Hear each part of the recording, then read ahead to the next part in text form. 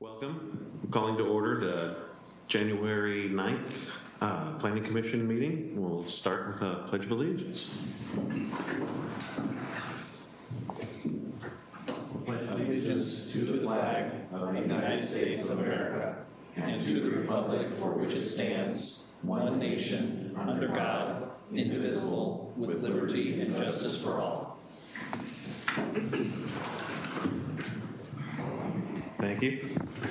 Um, At this moment, we'd like to turn the meeting over to staff to discuss the recognition of outgoing Planning Commission Chair, Jason Padden. Um, Thank you, um, Commissioner Hutchinson. Um, Just wanted to say a few words, and I will also like to encourage the Planning Commission to say a few words about uh, Commissioner Jason Padden. And we, um, the appreciation we've had for him being on the Planning Commission, um, we've really um, appreciated your leadership. Um, I think you're a person that really strives to make things better than they started in an organization, and that's very appreciated. We really appreciate your compassion for um, the commission, and that's going to be reflected, we believe, in the council appointment. Um, So that's just a, words from staff. Uh, We have a, uh, we have a gift and um, a card for you, uh, just as a small token of appreciation, but I just wanted to say thank you personally, and I just for your commitment to the city of Canby. Well, thank you.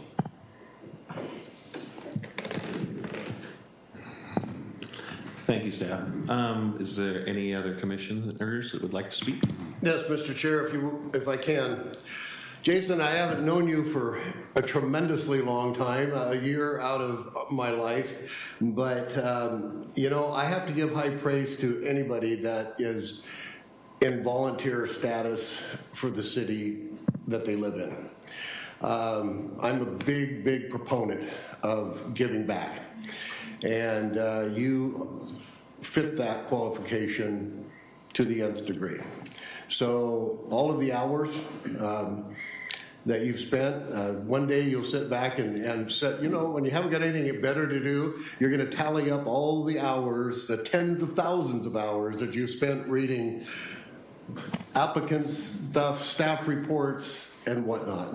But I think it's your attention to. Um, to coin a phrase, capture the low-hanging fruit that we all uh, that we all uh, attain to make our town a better place. So personally, I want to thank you, and uh, it has uh, been an honor to know you. I know your address is not changing to a, a different town, so that's Yep. a good thing. Yep. And uh, we hope to. Uh, I look forward to working with you and and and doing stuff in the future. Okay. Thank you. Thank you, Jason. Anyone else like to speak? Yeah, I just want to say congratulations, Councillor Padden, and uh, you, you were the only uh, chair that I've known uh, my time as as a planning commissioner, uh, and I have really appreciated your passion and um, you know at times your uh, verbose nature in discussing uh, some topics. Um, sometimes meetings I thought would be very short. Um, were not short at all, and and but really made me think Okay.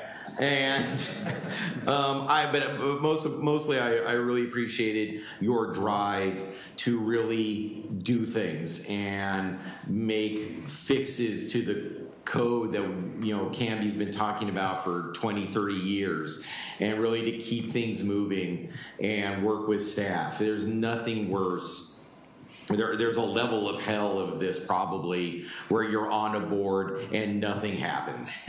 and whether it's a city council or a planning commission or whatever, and you're just like spinning your wheels. And I don't feel like we did that this year, so thank you very much. Mm-hmm. Thank you very much uh, for welcoming me onto my first commission ever, uh, and making that experience uh, what it uh, all it could be. And I appreciate the guidance and the help along the way, particularly with the phraseology and the Roberts Rule of Order uh, comments. I, I still haven't mastered yet, but I will get there. Um, congratulations to you uh, on becoming a city council uh, member, and uh, I- I'm certain we'll be working with you in the future. So congrats. Thank you. Thank you. And J- Jason, um, I would like to give you the, the card, It would- if you- unless you'd like to say If something. may, real quick. Yes, please, go I ahead. promise Yeah. I'll try to Yeah. finish up. I know it's a long meeting night. Take. I just, I just wanted to uh, say thank you for those kind words. Uh, it is it is greatly appreciated, and primarily thank you for uh, continuing to serve this community. I know, you know, as uh, Commissioner Ebert was saying, sometimes it is a thankless job, but those that you impact through these decisions, while they may not know it, really they do appreciate it. And I appreciate all of the work that you did over the years through this process and supporting me as the chair, even though at times it might have been a bit archaic and I got off on a bit, bit of tangents. Um, as I said before, and I will just say again, um, I will continue, even though I'm not the um, liaison to the Planning Commission, I will continue to serve as your advocate uh, to the city council and ensure that the work that you are doing here makes its way up to them. So I look very forward to pushing on your behalf to get the uh, fence ordinance uh, work sessions on the calendar as soon as possible and uh, all those things. And then to the planning department, the same thing. I appreciate all your help in, in making sure that I didn't get the city in a lawsuit uh, through my time as chair and as a member of the planning commission. And uh, I will continue to serve as an advocate for, for you folks as well. And if ever anything comes up or you have questions or concerns, please don't hesitate to reach out to me. You all have my contact information and I'll be happy to happy to hear what you have to say and, and listen. So thank you.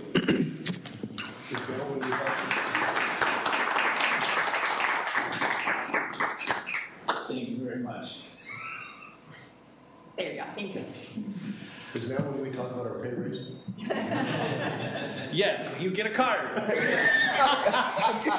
well, good luck with the rest of your meeting and, and have a great night. Thank you, Jason. Thank you, Jason. Uh, For myself, I would like to say, Jason, I think you're going to look back on your time of obscurity fondly. Uh, It's done now. Everyone knows who you are. You will not get to have a peaceful day at the grocery store going forward, That and I hope you problem. enjoy it. I'm, I'm looking forward to it. It's going to be a lot of fun. Excellent. So, thank you very Thank much. you. Have a good one.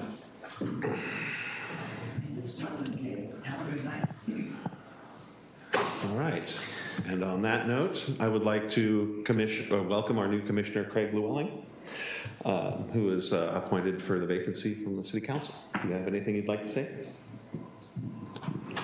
I get used to this thing. Uh, No, I just look forward to working with you all, learning from you, and uh, I know some of you have been here a long time. I was talking to Dan here. Uh, And so I uh, appreciate the opportunity. I'm glad you're here. Um, all right, well, I guess at this point, we need to come up with a new chair and vice chair as the terms have rolled over. I'm starting a whole new term here. I actually completed a- an entire term as a commissioner. Wow, I didn't realize it would be so rare. Um, So um, I will open the floor for nominations for chairman, chairperson, I should say.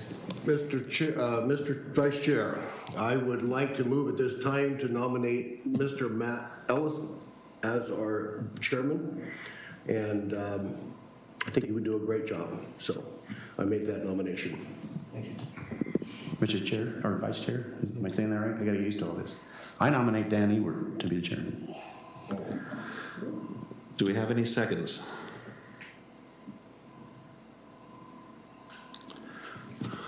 Well, it's just you and me. Who, want, who, Um, who wants it more? I'll, I'll second both the nominations. This is Judy. Oh, What, what, what oh, is- Judy's.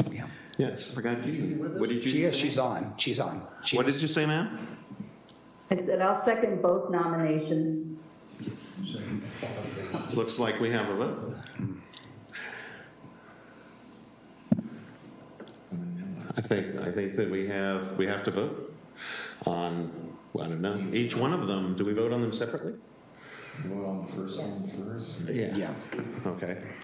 All right, well, uh, I guess we will start with a vote for Commissioner Matt Ellison to be Chair of the Planning Commission. Um, I'll just go down the list, I suppose.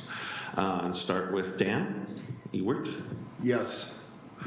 uh, Commissioner Llewellyn, A nay. Commissioner Jarosh, Yes. Commissioner Calkins, Yes. Commissioner Ellison, Yes, please. I also vote aye. Um, Not sure where we go with this now. Now we, I guess, since they were both seconded, now we vote on the motion, right, to, for Ewert, or, or that one passed? That so one was it's first. done. That's what it is. Congratulations. Experts in the back. Thank you. Thank you. That's awesome. Now, do you? Now what? Do we, now, now we do Vice Chair, Vice Chair. Opening uh, the the floor for nominations for Vice Chair. I nominate Mr. Dan Ewert. I'll second that. All right, shall we go down the list? Uh, Let's, uh, we'll go the other directions. Uh, Commissioner Calkins, Aye. uh, Commissioner Jarosh, Yes. Commissioner Llewellyn, Yes. Commissioner Ellison, Yes. Commissioner Ewert. I'm voting for myself. I'll abstain. I vote yes as well. Okay. Looks like the motion is carried. Congratulations, Vice President.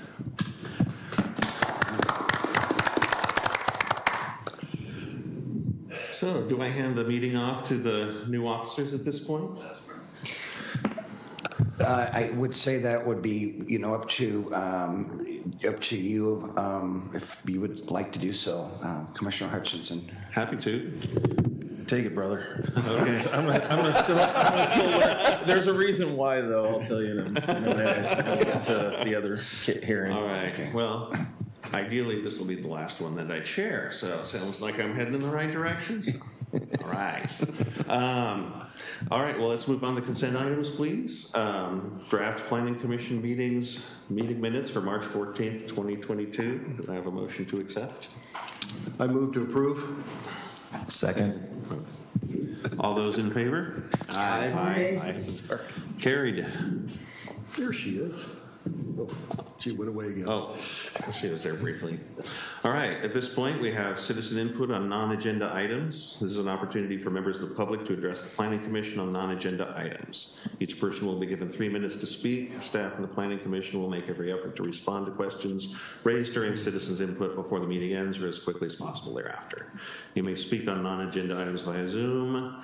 Um, it's a little bit late for all that, so I think if you don't have that information, then you probably will not be having anything to say.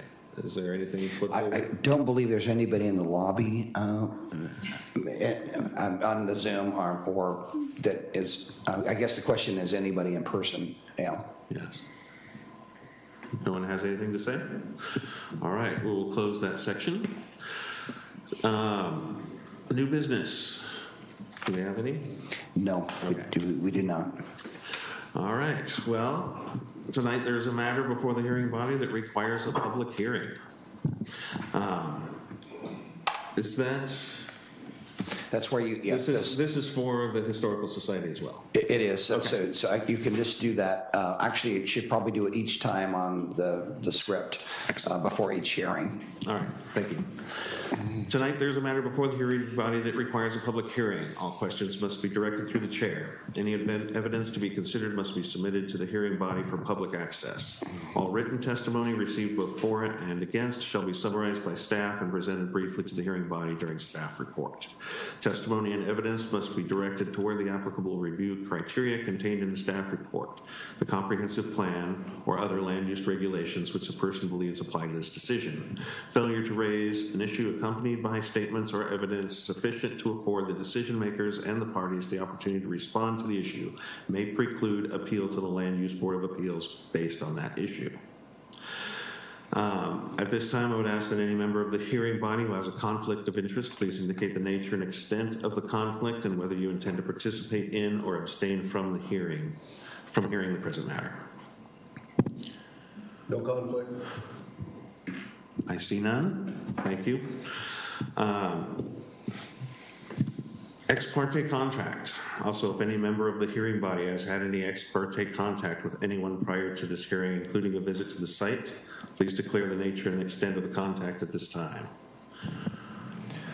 I have that. So this is Judy. Um, I should probably abstain from voting too, although this vote certainly doesn't benefit me personally.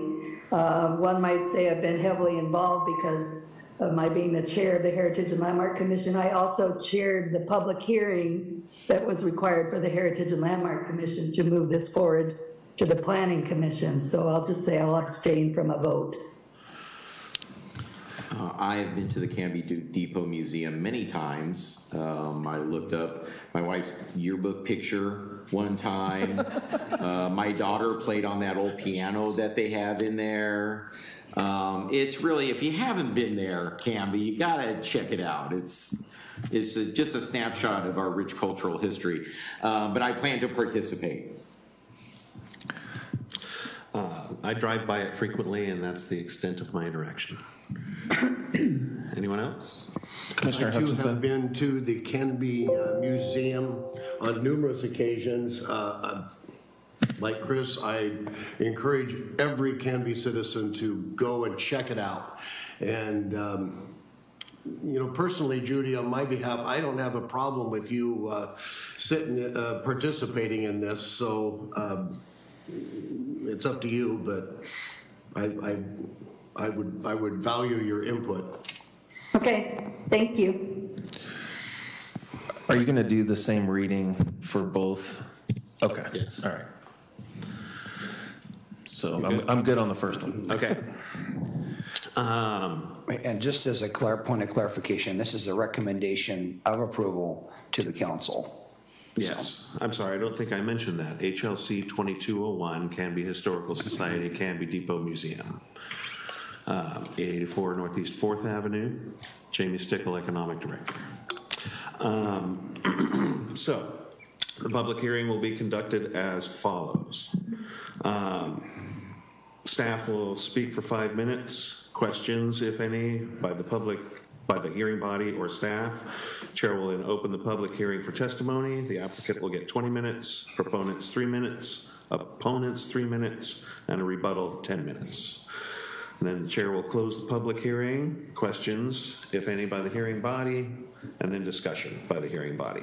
A decision shall be made by the hearing body at the close of this hearing, or the matter will be continued to a date certain in the future. Uh, th- This will be the only notice of that date you will receive. Does anyone have any questions about the procedure of the hearing? In that case, I will leave, send the floor to the staff.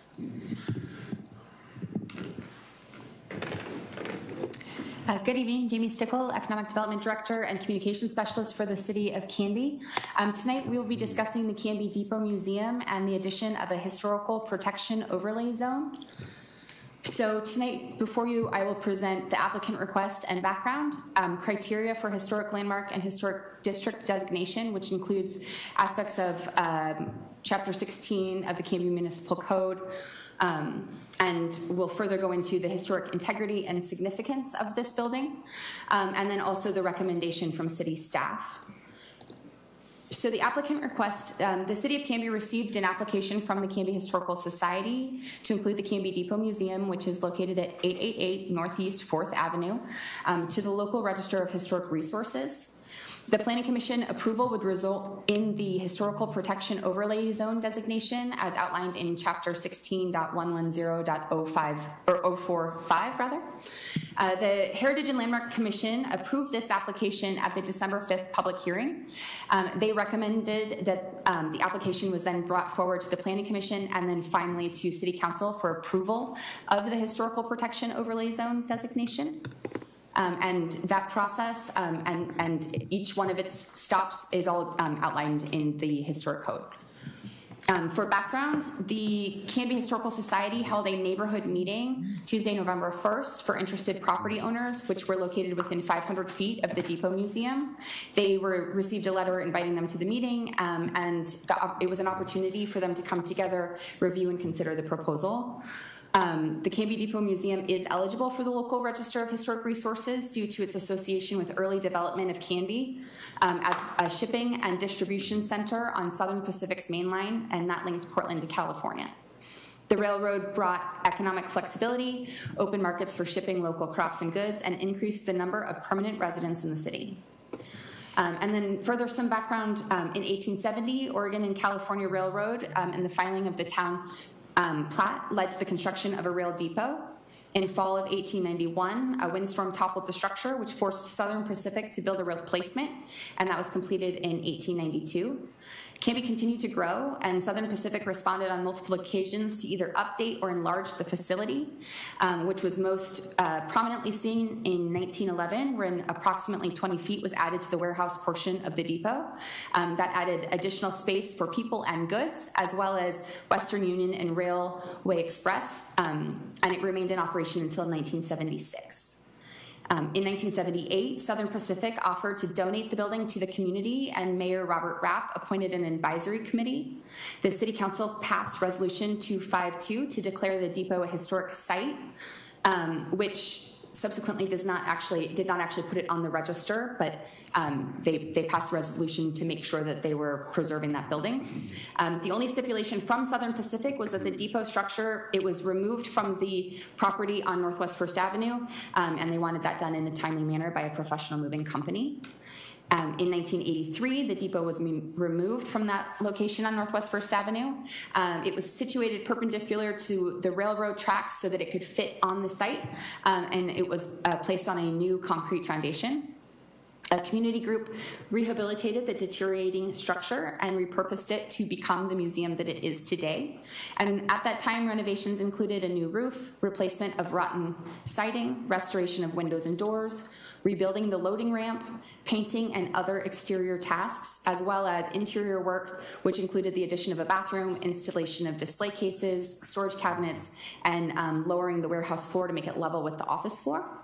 Uh, October 6th of 1984, the Canby Depot Museum was formally introduced um, at a grand opening. Um, so now to speak a little bit to the criteria for the historic landmark. Um, 16.110.040, the Register of Historic Landmarks and Historic Districts. Um, I pulled just part of some of this information out so that I could further go into it.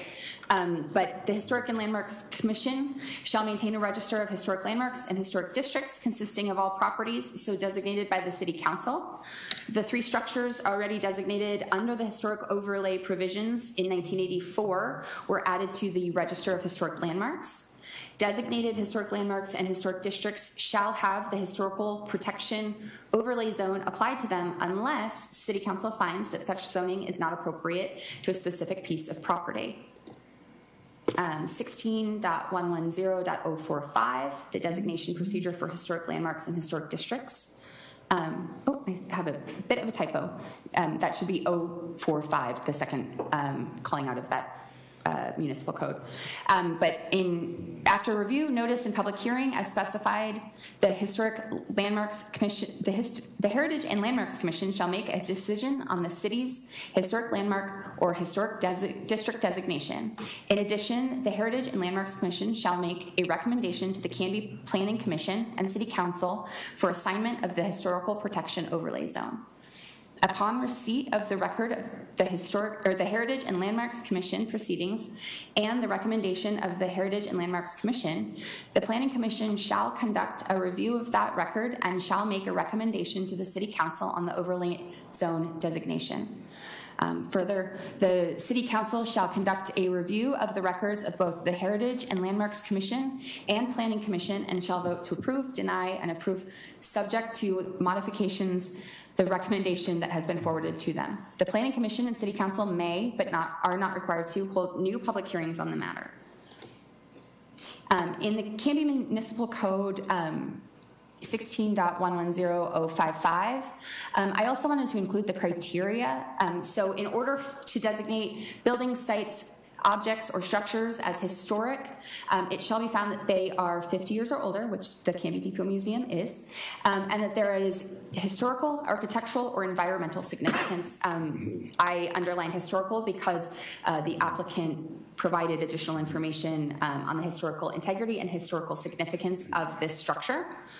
Um, and as it is called out in our code, the historical significance, um, it's the association with the life and activities of a person, group, organization, or institution that has made a significant contribution to the city, county, state, or nation. Um, association with an event that has made a significant contribution, association with broad patterns of cultural, political, social, economic, industrial, or agricultural history, potential for providing information of a prehistoric or historic nature in the city, county, state, or nation, or listed on the National Register of Historic Places, which this is not at this time. Um, as far as the historic integrity is, uh, the building, again, built in 19, or 1891 and 92 is Southern, standard Southern Pacific design number 11 combination depot. The Canby Depot is a rectangular structure with a wood frame and post and beam floor structure. It features a side gable and wide overhang eaves and shaped diagonal braces. The building is clad in horizontal board siding composed of cedar. Exterior trim boards are placed over the siding at vertical and horizontal angles. The prominent windows of the depot are 12 over 4 double hang, double hung sash windows.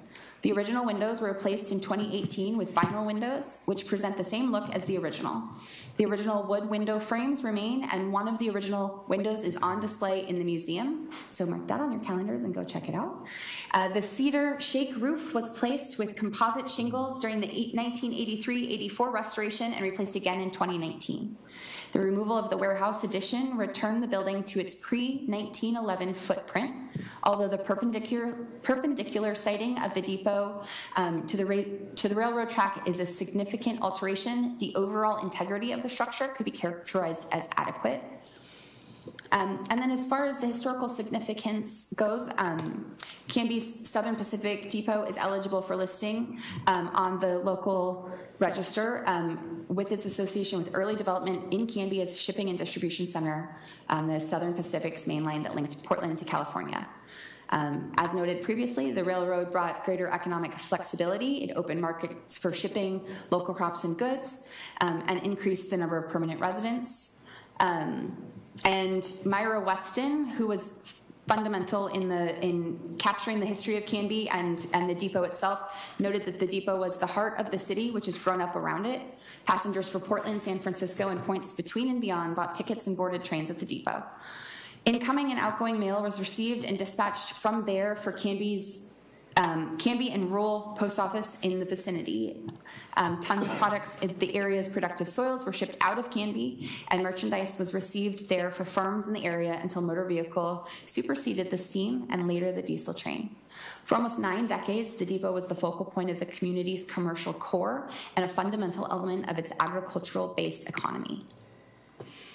Um, Southern Pacific Railroad was vital to the development of Canby, um, and that extends west from Louisiana to California and north to Oregon. The firm constructed, constructed nine standard number 11 combination depots in Oregon, and as one of three remaining, Canby's depot is an architecturally significant structure. The depot's association with a long list of civic leaders and activists who contributed in multiple ways to Canby's development contribute also contributes to its significance.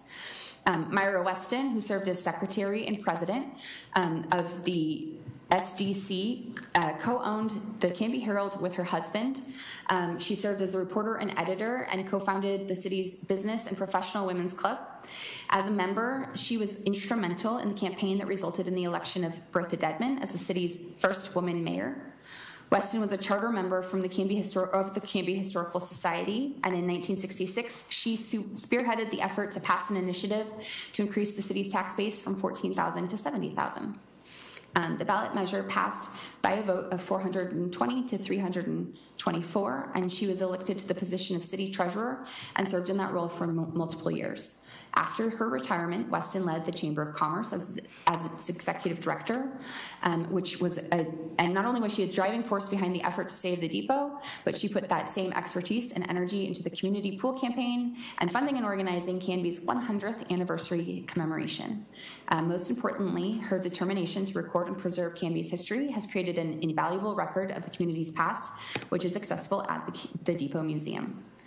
Um, the Depot's association with Herman Bergman, um, who was the station agent from 1958 to 1976, adds to its historic significance. Bergman was a tireless advocate for saving the structure and repurposing it as a museum. And after the relocation was complete, he served for two decades as museum director and is responsible for many of the additions um, to the document archive, as well as the artifact collection, including the acquisition of the caboose in 1989. The collection is the heart of the museum and an irreplaceable record of the community's history. And last, the depot's historic significance is embedded in its connection to two families that shaped Canby's pre-1900 development, the Lees and the Knights. Philander Lee sold 111 acres of his donation land claim to uh, O&C, which I cannot remember Oregon, California. Oregon and California. Thank you. Uh, Lee had insisted on including a provision in the sales agreement that required the firm to build a depot, and the decision proved critical to the emergence of a small town in what had been a farming area devoid of commercial structures. By 1892, when the second depot replaced the first, Canby had a thriving Main Street and a growing population, and one year later, the city was incorporated. Um, and then Joseph Knight in 1868, he purchased the um, Seeley and Jocelyn donation land claims, moving his large extended family from Butteville to Canby. In 1870, he sold a small portion to the Oregon and California um, Railway, Railroad? Yes. And uh, after the completion of the rail line through Canby, his adult sons began to transform the community. For example, William and George constructed the Knight Mercantile. Charles built um, a pharmacy on the west side of what is now Grant Street. Joseph erected a sawmill on the Molalla River. George built a grist mill. Adam opened a blacksmith shop. The Knights constructed homes, a hotel, schoolhouse, and multiple commercial structures. William Knight became civically and politically active, and he was instrumental in the city's 1893 incorporation. The first city council meeting took place on the second floor of the Knight building, with Knight serving as city recorder and, Herm- and Heman, Philander Lee's son, as mayor. Staff um, recommends the Planning Commission include the historical, uh, the historical protection overlay zone designation for the Canby Depot Museum as outlined in Canby Municipal Code 16.110.040 and 045.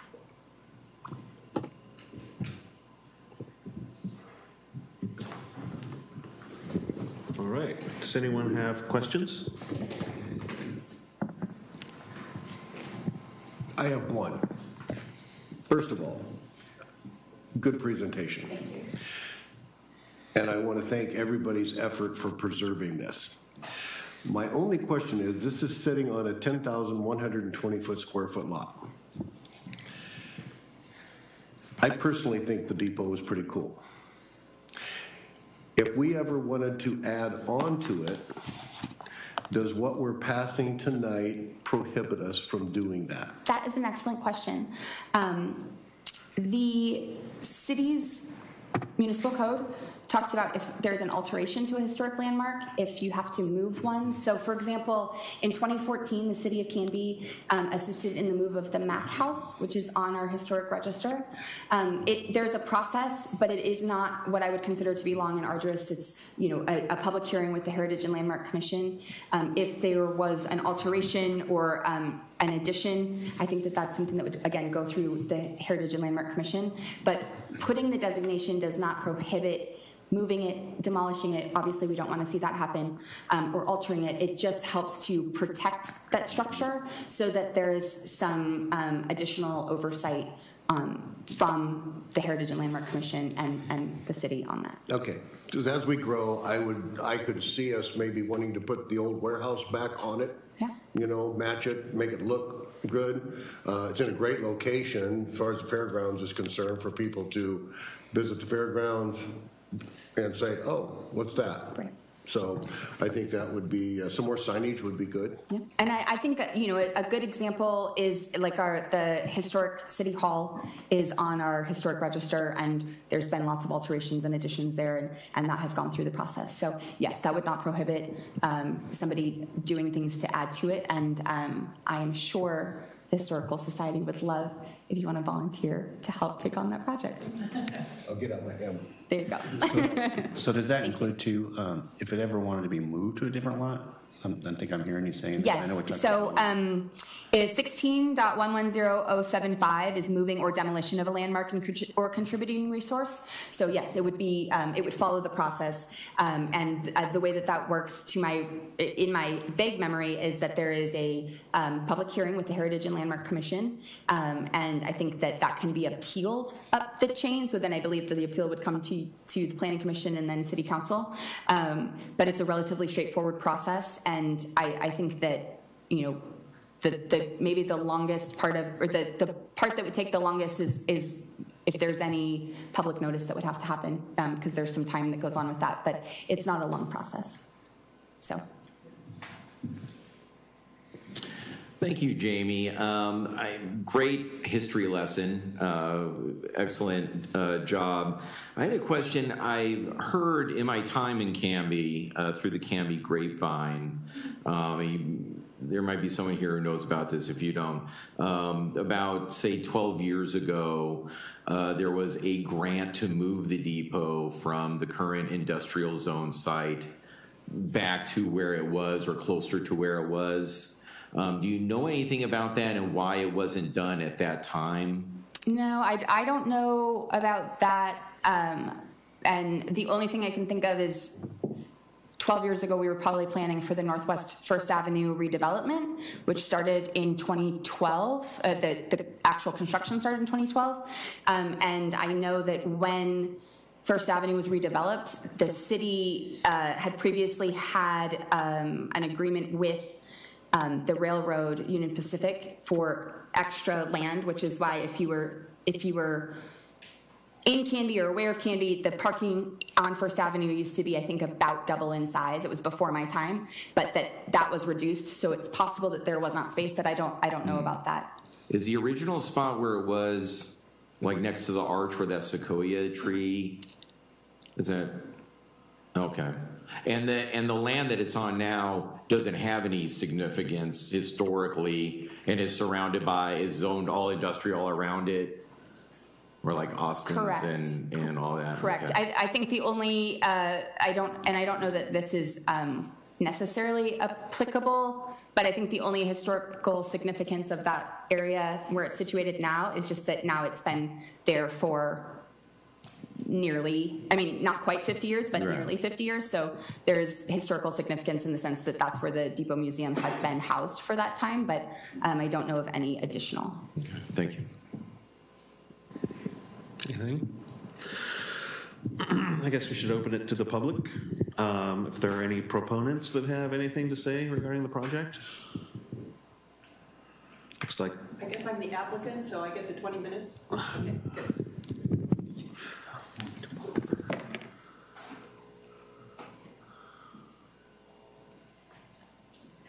So thank you, Planning Commission members, for this opportunity for the Canby Historical Society to move forward with something that's been on their agenda for some time.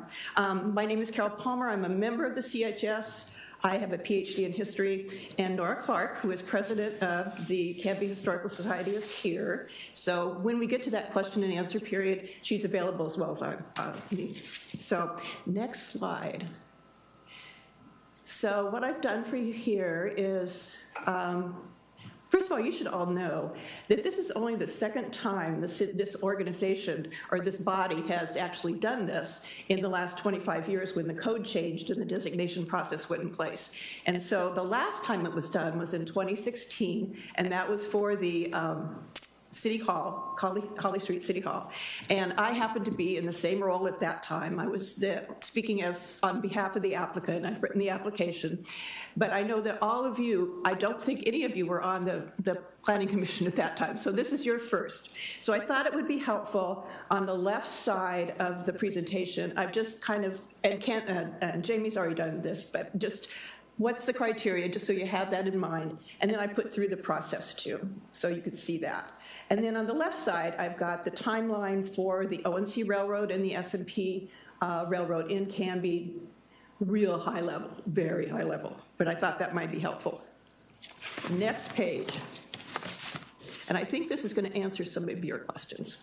Um, why is designation important? I really think that if you're going to do this, it's, it's important for you to know why it's important, but it's also important to know what it means. So the first thing is, of course, getting the, preservation, uh, the historic zoning overlay is going to help preserve the building. That's the number one thing. And in this case, that means all proposed exterior alterations are subject to the design, are subject to design review. The focus of the design review is the effect of the alteration on the property's historic integrity. Um, the minor uh, alterations can be approved by the planning director. Major alterations have to go through the Heritage and Landmark Commission public hearing, and the appeal is not to the planning commission if um, the applicant or the opponents don't like the, uh, that. It, the appeal goes directly to the city council. Um, and I thought it would be helpful if I gave you some examples of what is considered minor in real time, the real stuff that they've really done, how would that have been handled had they been designated at that time? So a couple of years ago, I think it was 2019, um, they replaced the original, not the original roof, but they replaced the roof that had been in place since 1983. Now, that particular alteration, uh, because it was not the original roof, it wasn't even the original roofing material on that roof, and because the alteration did absolutely nothing to impact any part of the building that contained historic integrity, it did not change the, the profile, the footprint, or the appearance of the building. I would have recommended, if somebody had asked, that that would be considered a minor alteration. It's literally repair. It's like for like. And everybody knows that roofing material does not have an, a, a long life. It, it, you have to replace it sometime. The window replacement that took place, I think it was about a year later, was a different story.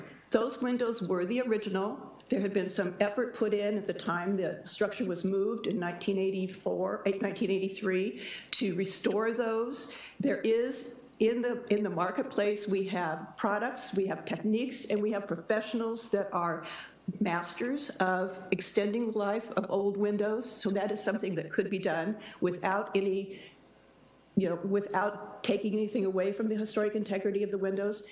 The replacement with vinyl windows definitely reduced the historic integrity of the property, and that would have needed, would have been considered a major alteration and would have had to go to the Heritage, Heritage and Landmark Commission.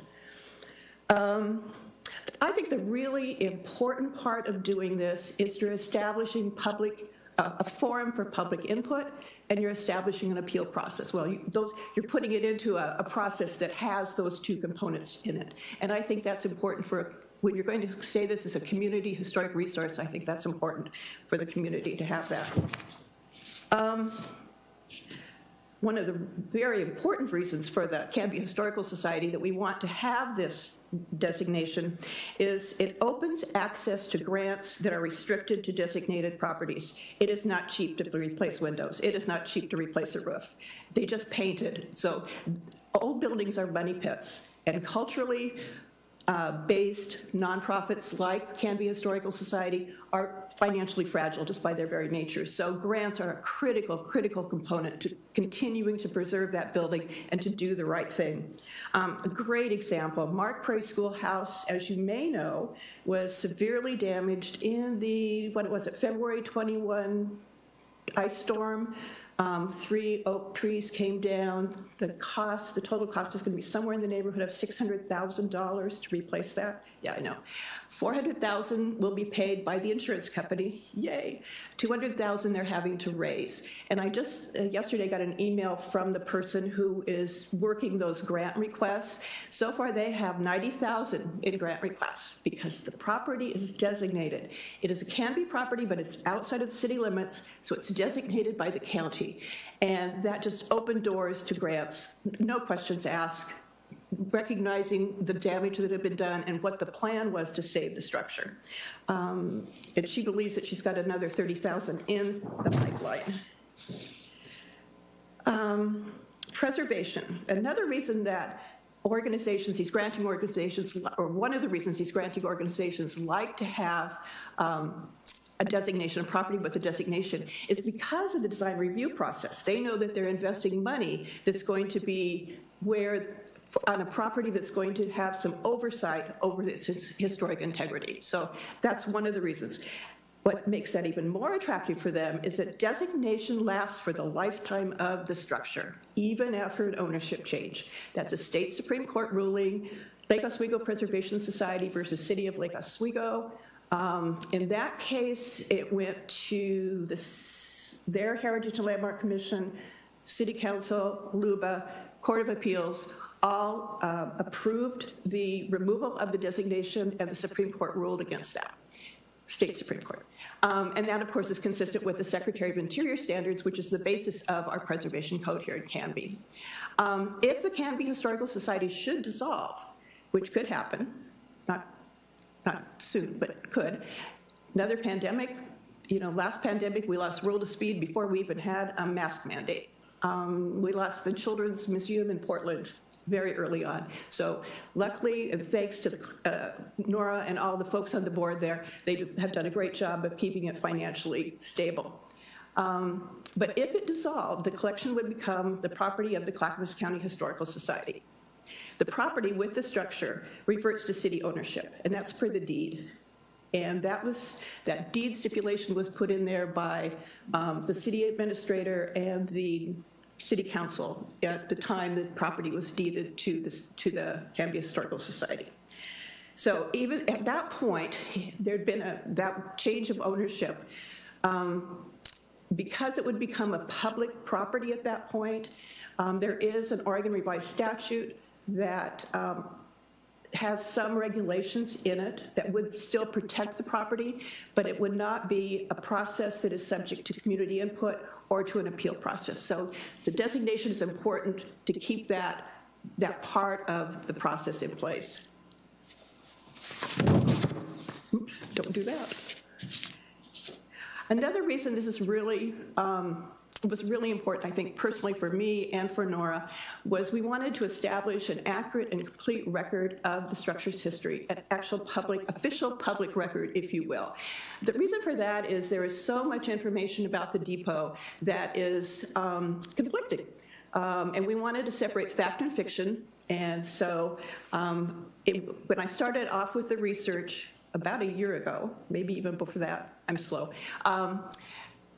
There were some rules we put in place to say, you know, we want to make sure that this can stand the test of time and has all of the documentation that it needs to back it up. So what I did was I used primary sources whenever they were available. Uh, when there was conflicting information, I made sure I double sourced. Um, that's the whole list of places where we either went, or where either went, or that we both did both online and sometimes in person. And the really important thing was footnote, footnote, footnote. We wanted to leave, I wanted to leave a track record. So anybody looking at the, the historical record would, would know exactly where I'd been and what I looked at and what, the, what those things had said, so.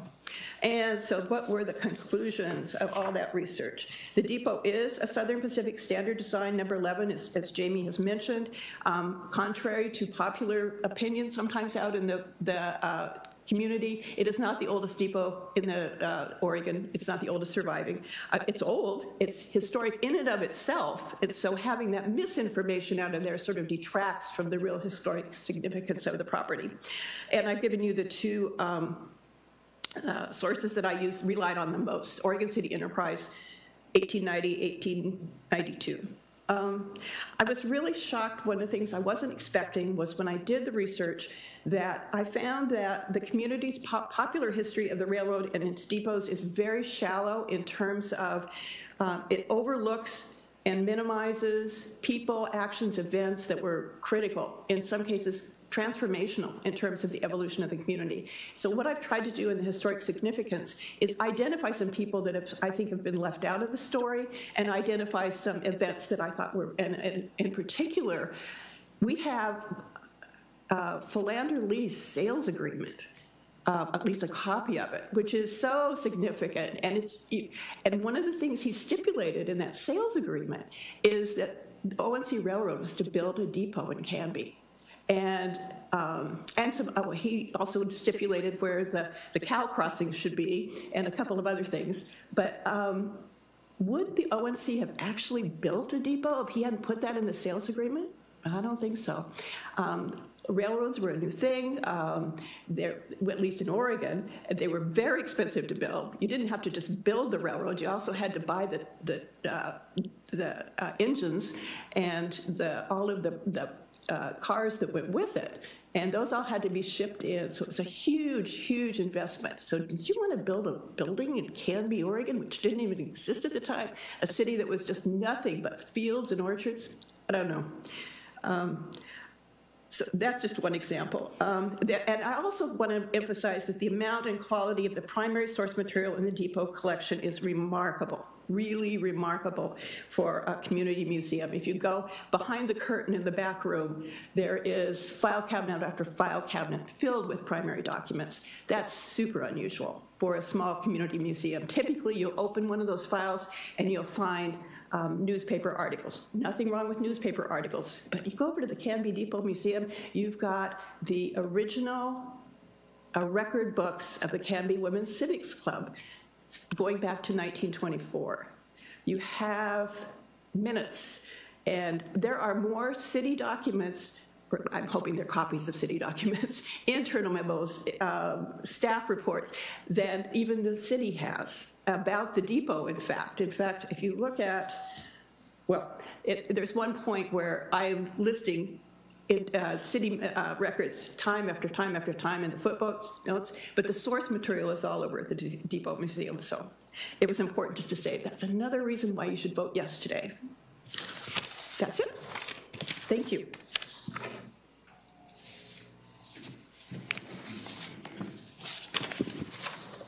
Do you have a question, Commissioner? Yeah, thank you. Carol, can I ask you a question? Is that okay now? I Can we thought do I had to that? wait for the question period to let the opponents or, Oh, yeah. I think maybe. Um, Why don't we see if there are other proponents and opponents, and then we could go right into that. Okay. Do we have any, um, other than the applicant, proponents of this tr- proposal? Looks like no. Any opponents? You, you may rebut the silence if you like. Um, I guess we'll, at this point, close the public hearing unless, and then we go on to questions from the hearing body. You you could ask questions now before you close it. Um, I think that might be a good idea. Just if you have the opportunity here, I think it would be good to do that, uh, Okay. if there are questions. Just one quick one. Is there a way to make the building itself have that historical protection without changing the zoning of the land that it's on? I- I'm not an expert on zoning, so that question needs to go to those people over there. Oh, Okay, maybe that was for Jamie. It good occurred to question, me during your, Yeah. your talk. Yeah, it, this is really more of an, an overlay versus a zone change. So this is a, really a protection over the property, but not really, it's not really redesignating this property. So the zoning is, the base zone still exists on that property. Light industrial. Yes. So that's another reason to protect the property is that the underlying zoning would allow things to happen there if there was not protection for that building. Okay, thank you.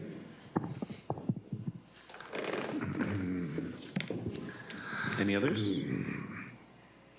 Hmm. Okay, so then, now we will close the public hearing. You. Questions, any from the commissioners? Any by the hearing body? None? Um, well, I guess I would entertain a motion. Well, we're gonna have discussion. Are we? Yeah. I don't know. I'll have, I'll have some discussion. Okay, excellent. Um, you know, I, I, I don't, I don't think any argument can be made that, um, the depot, uh, isn't of historical significance. Without it, Canby, as we know it, would not be here. And so, um, and, and I truly, uh, truly appreciate the work that, that you do the- and that the Historical Landmark uh, Commission does. And um, I'm excited about this. I think when I was, but I'm also reminded that um, Canby is running low on industrial land. And it makes me, uh, it's it's on my mind, you know, and and when the UGB uh, expands, um, the amount of farmland that that might be paved over, um, and just just that whole idea. Kind of actually reading and thinking about it, it reminded me a little bit about the Sequoia Apartments, you know, where we have really great uh, industrial zoning in a place that makes sense for it. And, um, I, but I agree that apartments should be in Canby. I agree that we need more uh, low-income housing and more apartments for, for people. But does that mean what that was necessarily the spot for it? And um, and with complete all due respect to Mayor uh, Robert Rapp, may rest in peace with his amazing sideburns.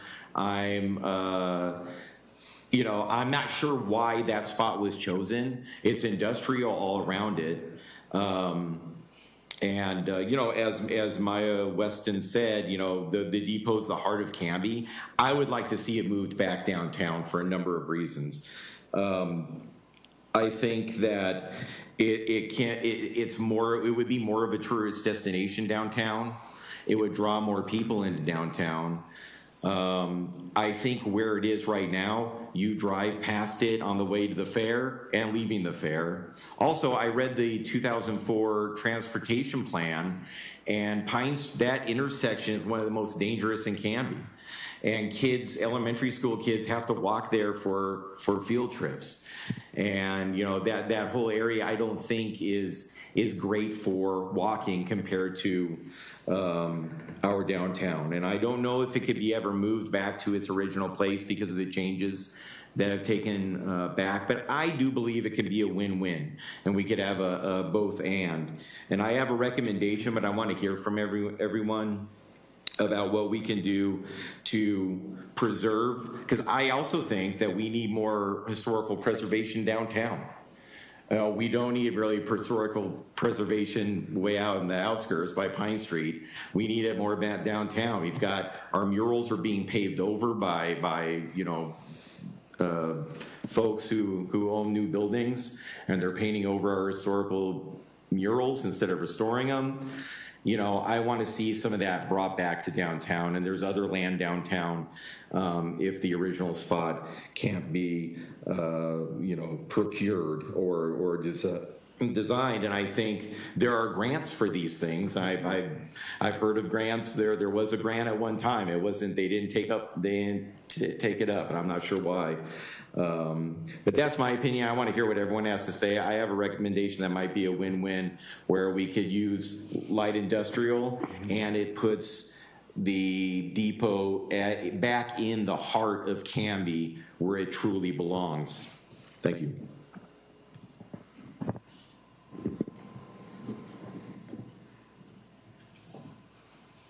Commissioner Ewert? I agree with you, Chris. to a degree.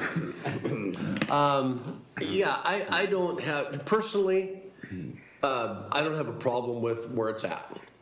I think that being next to the fairgrounds is, is a good place for it.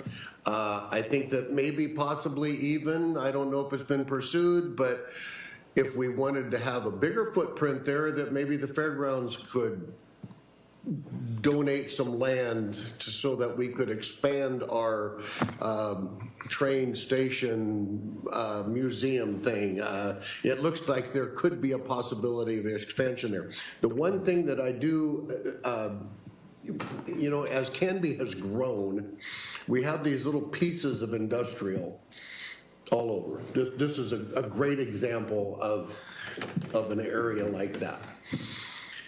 And somebody at one point thought it was great to have a little industrial piece there, and it, we kind of, it didn't work very good. And at least it doesn't work well now. Uh, back where I live, we've got an industrial park, and, and, you know, there's some great uh, industrial folks there, but it kind of it was a great idea at the time, but not so great now. It could be actually used for something much better. And uh, I agree that we're gonna, we're gonna have to um, um, enlarge our industrial footprint. Um, But, you know, rather than building apartments in the industrial park, I would have loved to have seen that maybe piece of industrial land that's there or back over B- on Baker and Third there be apartments. Uh, I'm all for apartments, but sometimes putting them on fresh usable land in our vital industrial park was, was not the greatest of ideas. So, with that being said, I don't really have a problem with where it's at. I'm not sure, where, where do you think we should put it downtown? Where, where, Well- in Wade Park or where? I was, I mean, it- my, I have a recommendation that, Okay. that it would be, um, you know, city staff would reevaluate that. Mm-hmm. Um, I, I think I, if it can't go where it was, which I think would be awesome. I don't think and Southern I think- Pacific's I gonna let don't- us do that. I, I really don't. You know, I went. Uh, my wife and I went to the Great Oregon Steam Up in Brooks, and um, those folks are, are rabid for that. I would love to see that tourism brought to our businesses downtown. But um, the other place would be over there by the where Canby Music is. Oh, sure. In some of in some of that land, but I would leave it up to city staff to try to identify where it could be uh, downtown and really be back and closer to where it was and how the town grew around it. I mean, that's that's where it was. It, it boggles my mind why it is where it is. Um, No, I, I don't have a problem uh, with it. I don't have a problem with what's before us. Uh, If we want to move it at some point, you know, put a trailer hitch on it and throw some axles under it and pull it to the other side of town. I don't have a problem with that, but I do think that we need to get it as a designated historical piece of property that we value and take care of. And I was just going to piggyback onto that and say the two aren't mutually exclusive, correct? I mean, we- we can do this process, but then also, Yep. should, should we decide, or the city council, or whoever, whoever the powers that be decide, we can, like you say, tug that thing across town and put it where, where, We need to get more people downtown, right? right? Uh, Yeah, I, I, my, my concern is, and I'll, I'll just read my recommendation. If you guys don't want to second and agree with it, we can move on. My concern is, once we do this, the sense of urgency, because we're not in a hurry, but the sense of urgency to do anything further or to look at putting it downtown kind of goes away. And so if we, if we say aye, it goes to, to council, they say aye, it's done, and if people move on with their lives. If we have a chance here to really discuss, and what I would say was, if I put my glass on, um, that I would move that the Canby Planning Commission recommend that city staff reevaluate and propose a motion to give historic protection to the Canby Depot Museum building only, if it's possible, and then seek grants in a process to return the building to Canby downtown. The Canby Historical Society would withdraw their application. All right. Well, that's, I mean, uh, why would you do that? There's a whole lot of issues associated with that, that, so that makes me very concerned from a planning perspective. Um, I have, a- this is Judy, I have a couple things to discuss if I could, when I have a chance. Okay, I'll shut, sorry. No, that's okay, Carol, I didn't mean to interrupt you. No, I just, get that on the table. Okay. Go ahead, Commissioner Jarosh, please. Thank you. So I think you all know I'm the chair of the Heritage and Landmark Commission. I've been a member of that for four years, and I think for two years the chair. I don't know, Carol, you know. Um, Anyway, thank you, Carol, uh, and everyone that's been involved in putting this together. I Carol's very um, modest, but she spent hundreds and hundreds of hours of, you know, she is a professional at this, none of us are, that I know of, uh, of this type of research, all volunteer time on her own. I was very lucky to accommodate her on just one research trip downtown Portland, and I learned a lot. So thank you, Carol, and everyone else that's been involved in this research. And she's right. You go into the, the Depot Museum and you open up some of those back room vaults, if you will, and it's it's amazing. So thank you, thank you for putting this together. I think it's a great thing. Um, I too, I remember when I moved to Canby, I thought, huh, that's kind of a weird place for it. But I also, in my many ex parte communications that I had on this, is I talked to individuals at length who were involved in the move uh, the original move. Uh, there was a huge number of a volunteer committee. It was volunteers in the city who were very passionate about history, who put you know nails in walls and you know um, you know got monies together and, and got funding and uh, an amazing, amazing, huge effort for people who recognized what a tremendous asset this is to, to keep in our town. And you're right, they all said it was not going to be allowed to stay where it was. So why they moved it where they did, I don't know. Probably because they got land uh, and that's where they had an opportunity to get it moved because the, the railroad needed it out of there.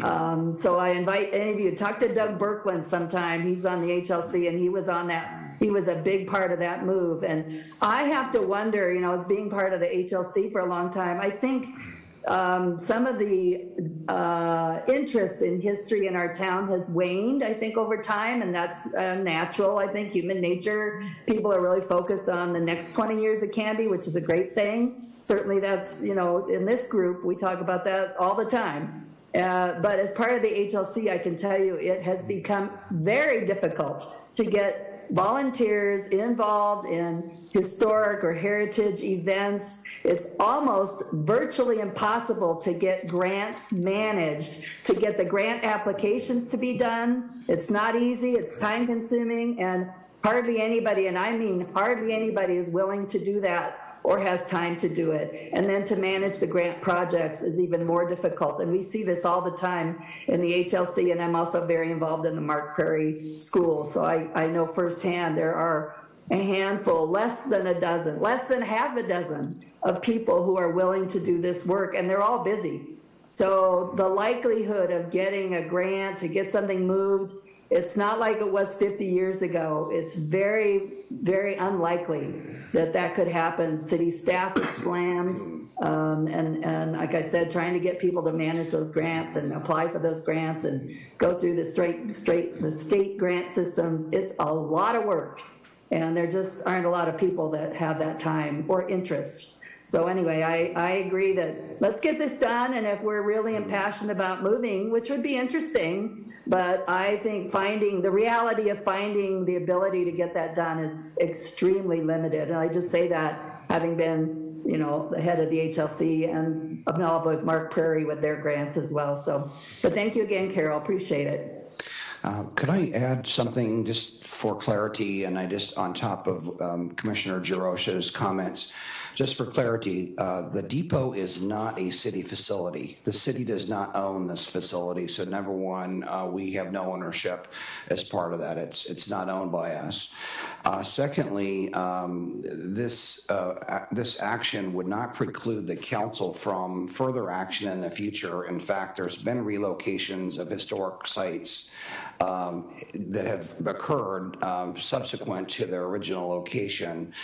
Uh, third, uh, the home, the depot is occupying that area now. It's not like we're bringing a use there; it's already there.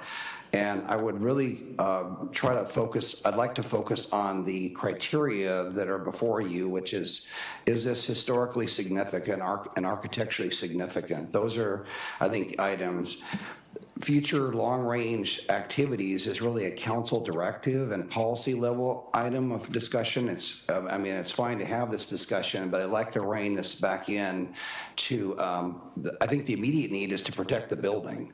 if this overlay does not go on the building, it has no protection. And so that's really the, the immediate need. I think, uh, as was stated as well, grants are really important here uh, for this. I think a longer term could be a discussion with council on this item, but I'd like to rein this back into the conversation regarding criteria. Can I add something here? Uh, I agree with you on that. I think we should get this done, but I agree with Chris too.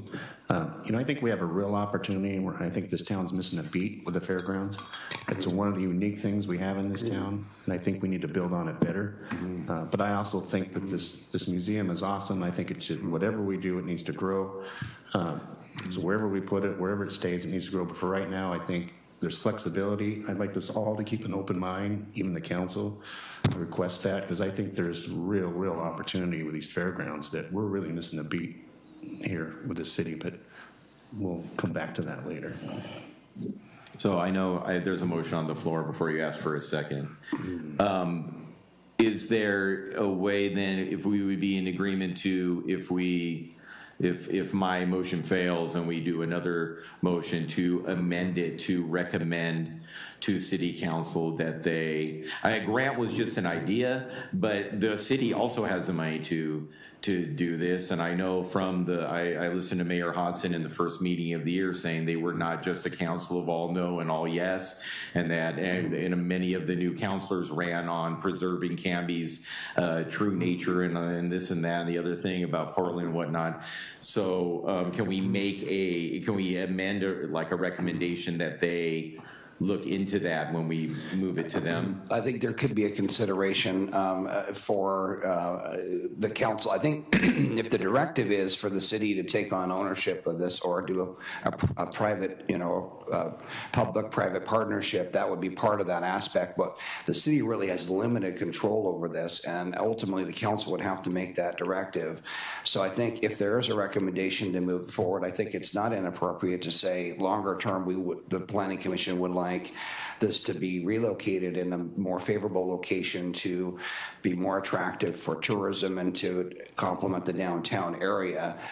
I, I just think that is the prime. I think the, the, the, the basic premise here is to keep focused on, I think, what is before, before you tonight, and I think the recommendation for council to do further investigation, and if, if they want to involve staff in that, then that's great, that's their directive to do that.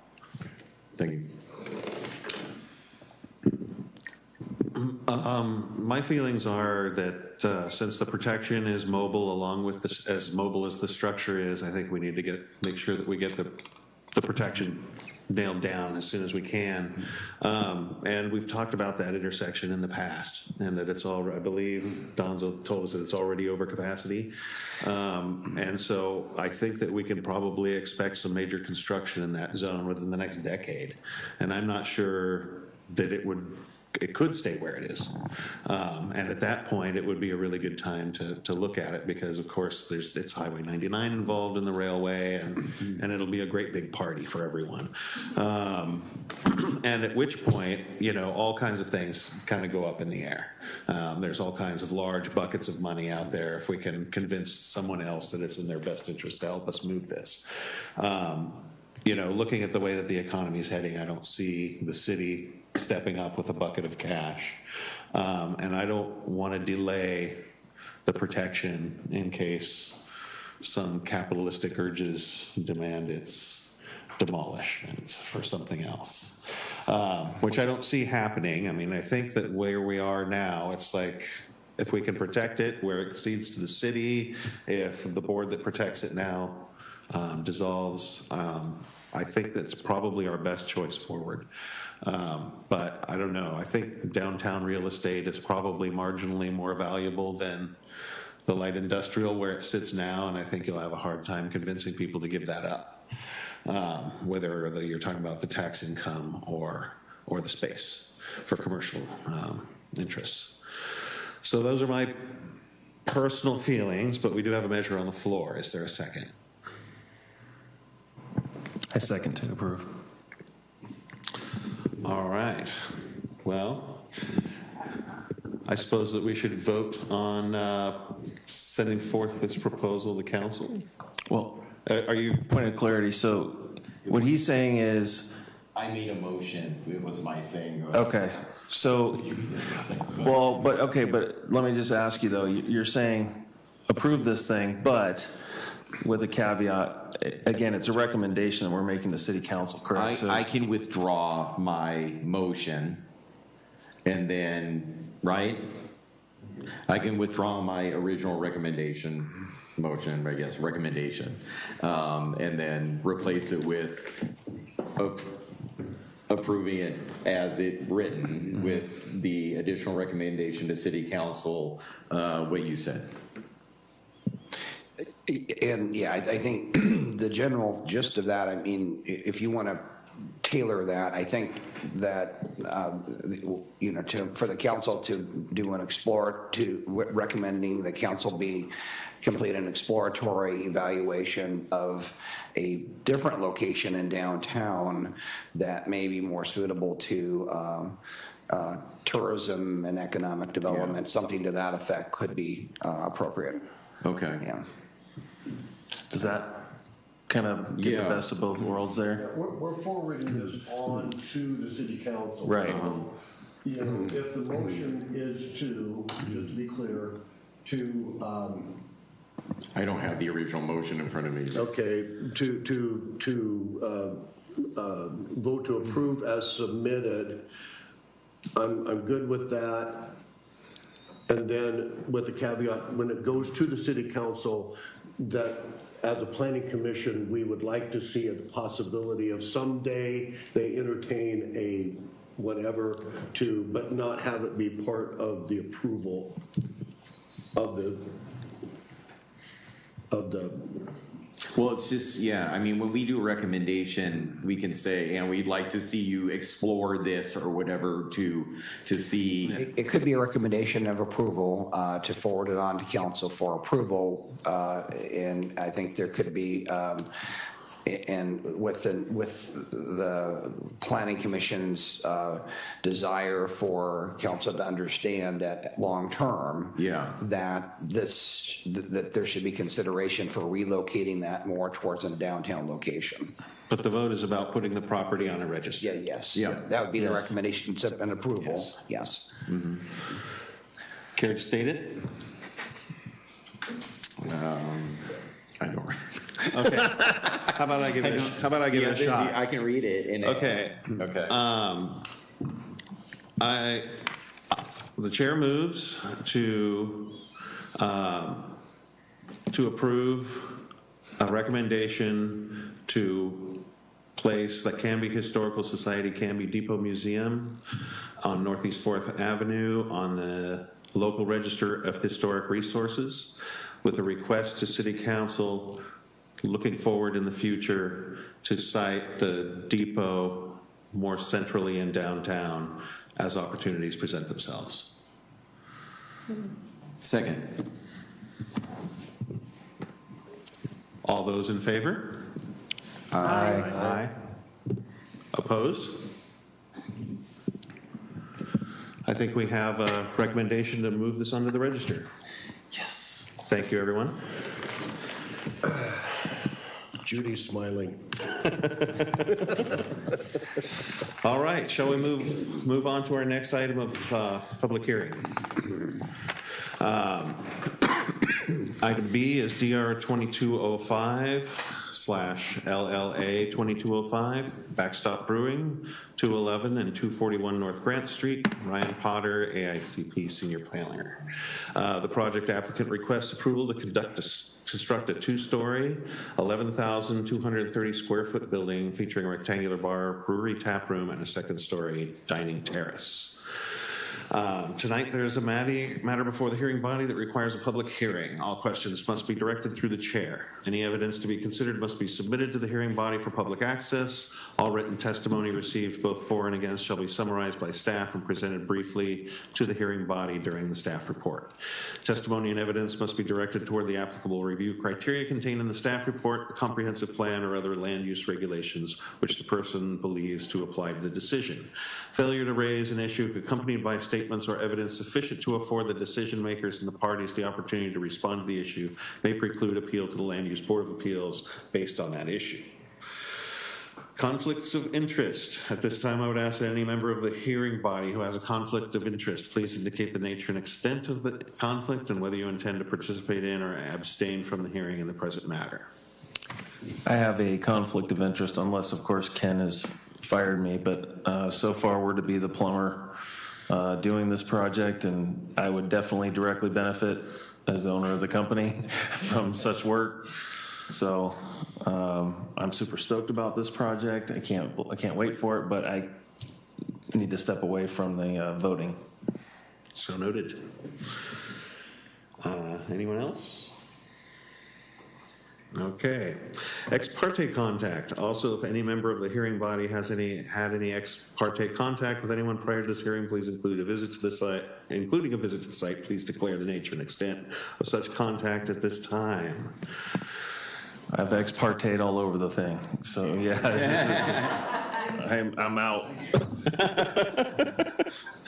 I have, I have made frequent visits to the site, probably too many visits to the site, um, according to my bank account. But, uh, and, and as well, um, I have had conversations with the business owner about uh, his ideas for this. Most of those were before I was on planning commission, but I plan to participate.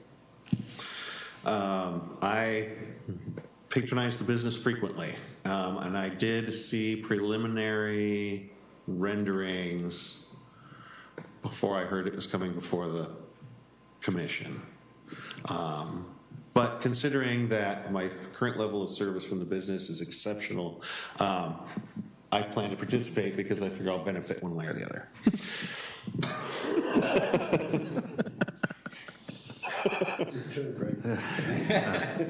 I think we all spend too much time there. Uh, But yeah, I I don't have any problem here.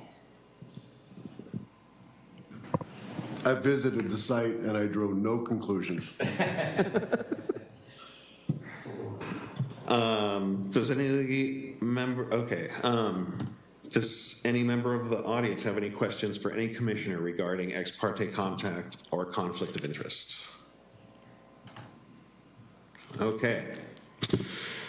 The public hearing will be conducted as follows. Staff, five minutes. Questions? Chair will open the public hearing for testimony. Applicant, 20 minutes. Proponents, three minutes. Opponents, three minutes. Rebuttal, 10 minutes. Chair will close the public hearing. Questions, if any, then discussion. The decision will be made by the hearing body at the close of this hearing, or the matter will be continued to a date certain in the future. This will be the only notice of that date you will receive. Does anyone have any questions about the procedure? All right, well, shall we begin with staff? Thank you, Commissioner Hutchinson. Um, Ryan Potter, uh, Planning Manager.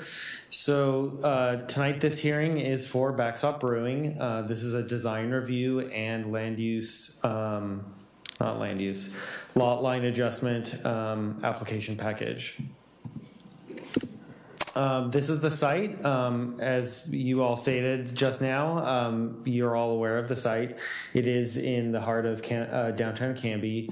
It's currently on uh, two parcels. Um, It looks like one if you look at a graphic like this, but the back portion of the project site um, actually is on um, a piece of the parcel that the existing backstop uh, restaurant is on.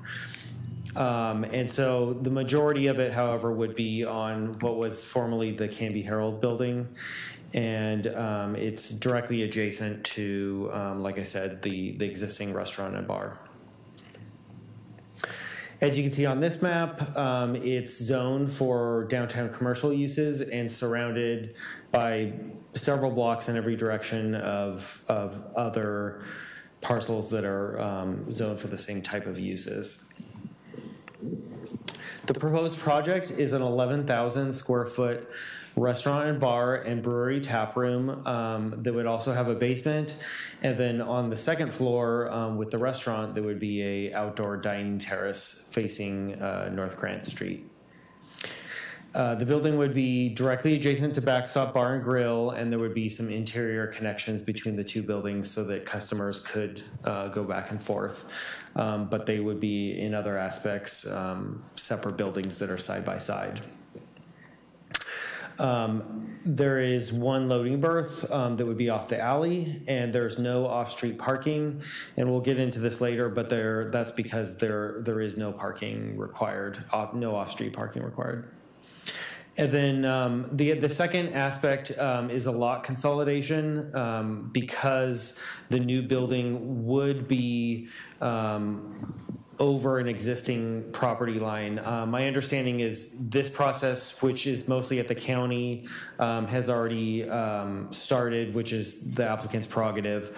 Um, but because that hadn't been finalized yet, I've I've folded it into um, this application for um, for a decision tonight. But the lot consolidation would just facilitate um, im- implementing the new building. And I've got a number of uh, renderings here. I'm not going to go through these in detail. Um, I believe the applicant's going to get up and speak to his project, um, and I may be going back to these as he uh, speaks.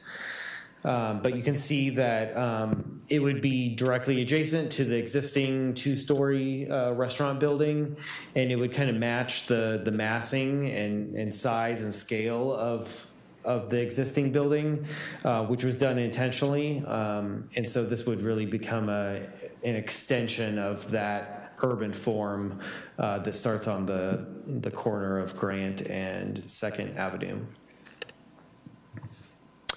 There's a little bit of a close-up of the street view um, if you're standing in Grant Street. And that's the entrance where the, the two um, people are standing out front. And here are some elevations that shows the same thing. Uh, top right is facing onto Grant Street. Uh, bottom right is facing the alley. Um, and then on the left is uh, a view of the, the current backstop building, um, which would obviously block the new one uh, from that view. And then the top left is um, the back of both buildings um, sitting side by side. You could see the Antonia Ballroom on the existing side is a little bit taller um, than the proposed project.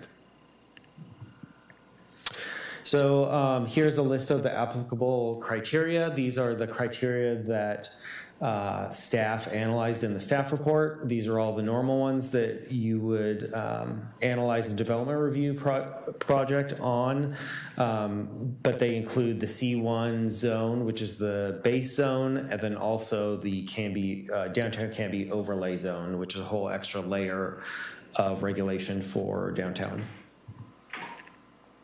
So consistency with criteria, um, staff did uh, found that uh, this project was exceedingly um, consistent with uh, the criteria in many regards, but I'll just give you a brief summary here. Um, the zone uh, includes a list of allowable uses. Um, Three of these are restaurants, drinking places, and brew pubs, which is exactly what the project would be. Um, so this is obviously something that the zoning contemplates. Um, as far as massing and height and um, all those criteria, it is consistent with the code. Uh, there is a design review matrix, and um, this project had the highest score of any project that I've had since I've been here. Um, and I'll get I'll get into that a little bit um, later. But the downtown Canby overlay zone.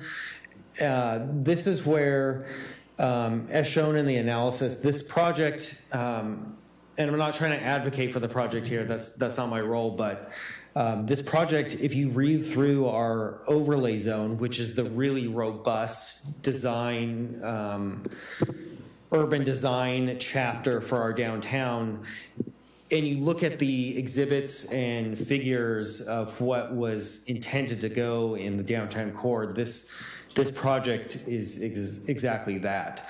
It's right up against the street. It's got a main entrance that's super visible right right up against the street. It's got a quite a bit of uh, glazing both on the first floor and the second floor.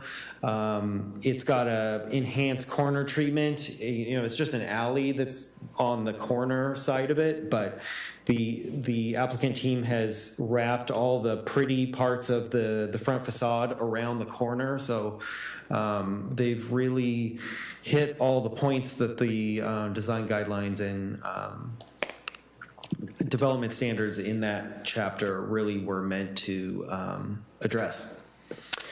Um, as I said earlier, uh, for parking, this project is in the um, the rectangle in the middle of our downtown core where no off-street parking is required. Um, and so nothing would really change there. The existing restaurant next door doesn't have off-street parking. Um, signage, this is uh, common with a lot of our de- design review projects. Um, there, there is some placeholder signage um, in the in the graphics, but those are just placeholders, and so um, the applicant would come back later with signs. Um, but they they were included to give you a flavor of what it would look like. Um, no lighting study was submitted, um, but the applicant team understands that that's something that um, would need to be submitted later, and there is a condition of approval that addresses that and requires that the, the lighting plan be submitted. Um, and in particular, the condition was written to um, have the lighting plan give some extra consideration to the, some of the uses to the west and northwest, which are countryside living are is just to the west of this project, which is a, a senior living facility. Um, and for all the criteria for the lot line adjustment are easily met. Um, this is a, a parcel that's, or two parcels that are already served by utilities and streets and sidewalks. Um, no new parcels would be created, uh, no additional survey is needed, and it's not in a hazardous location. We received one public comment from a neighboring business owner um, who was very supportive of the project. And then we received um, public agency and department comments from all the usual suspects, including our consulting engineer, Public Works, uh, Canby Fire, and Canby Utility and Direct Link. And, and I will say that most of the comments and conditions that they identified were the ones that are typical um, of any development project. They did not illuminate any um, unusual circumstances that would have to be addressed. Um, and accordingly, uh, there are 26 conditions of approval. Um, but like I said, uh, these are almost all standard conditions um, that would be apply that would apply to any project. Um, Canby Fire did state that there would have to be uh, the new building would have to be sprinkled uh, inside, and then um, again, I've highlighted that a lighting plan uh, will be required. So based on the application submitted and the facts and findings and conclusions in the staff report, um, we are uh, recommending that the Planning Commission approve uh, these two uh, applications, and uh, we welcome any questions. Thank you very much. Any commissioners have questions for the staff?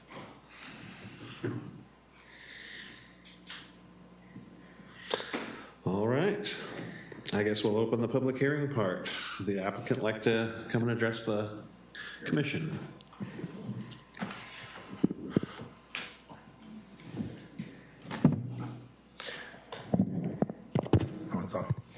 Uh, for those who don't know who I am, I'm Ken Aragati. Uh, my wife and I are the owner of the Backstop Bar and Grill.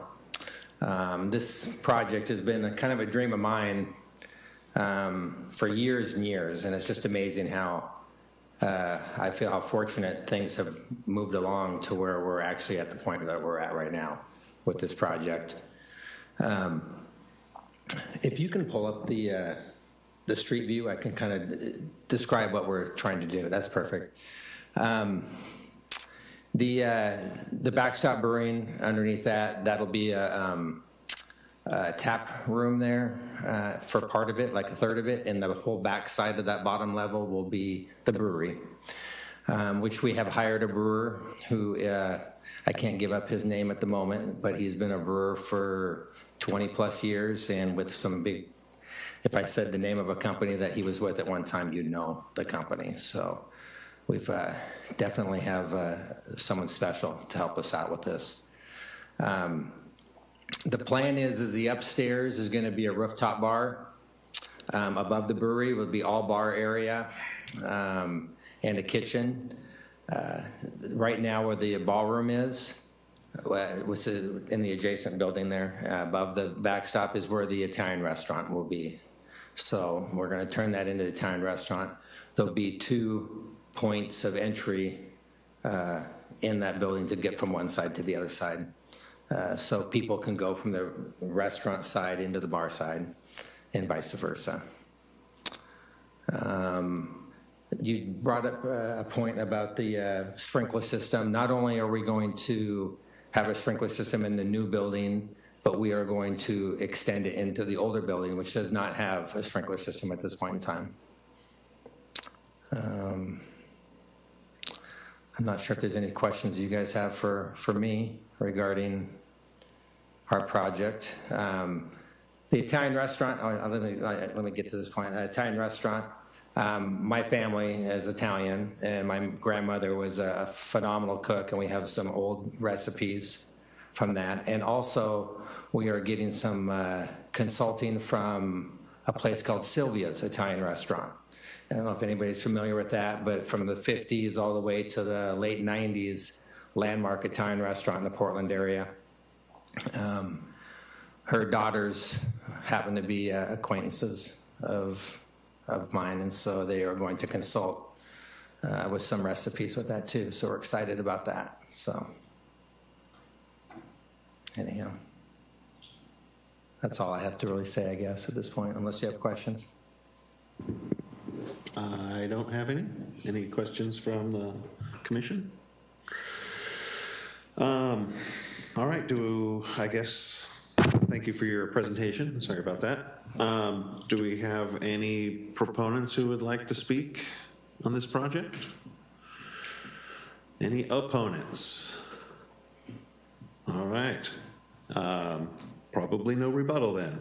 At this point, we'll close the public hearing. What's that? Okay. Uh, Questions by the hearing body? Any discussion? I have a few questions if I could. Go ahead, Commissioner.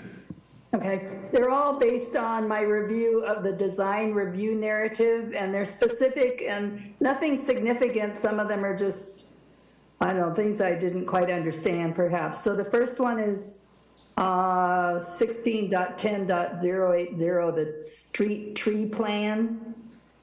And it mentions that it's not applicable because the existing frontage has angled parking, and I'm not sure what's not applicable. I agree.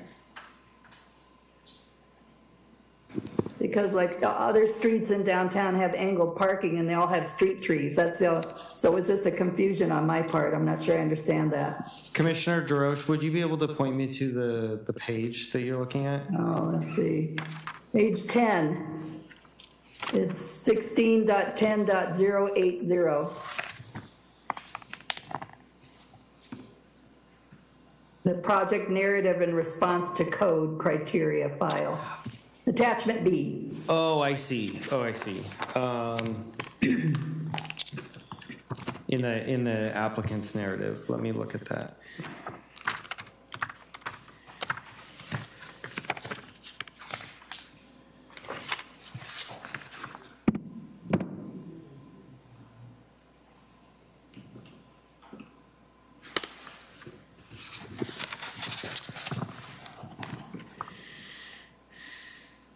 Yes, so, Page 10, 16, Right. 10.8080. right. Correct.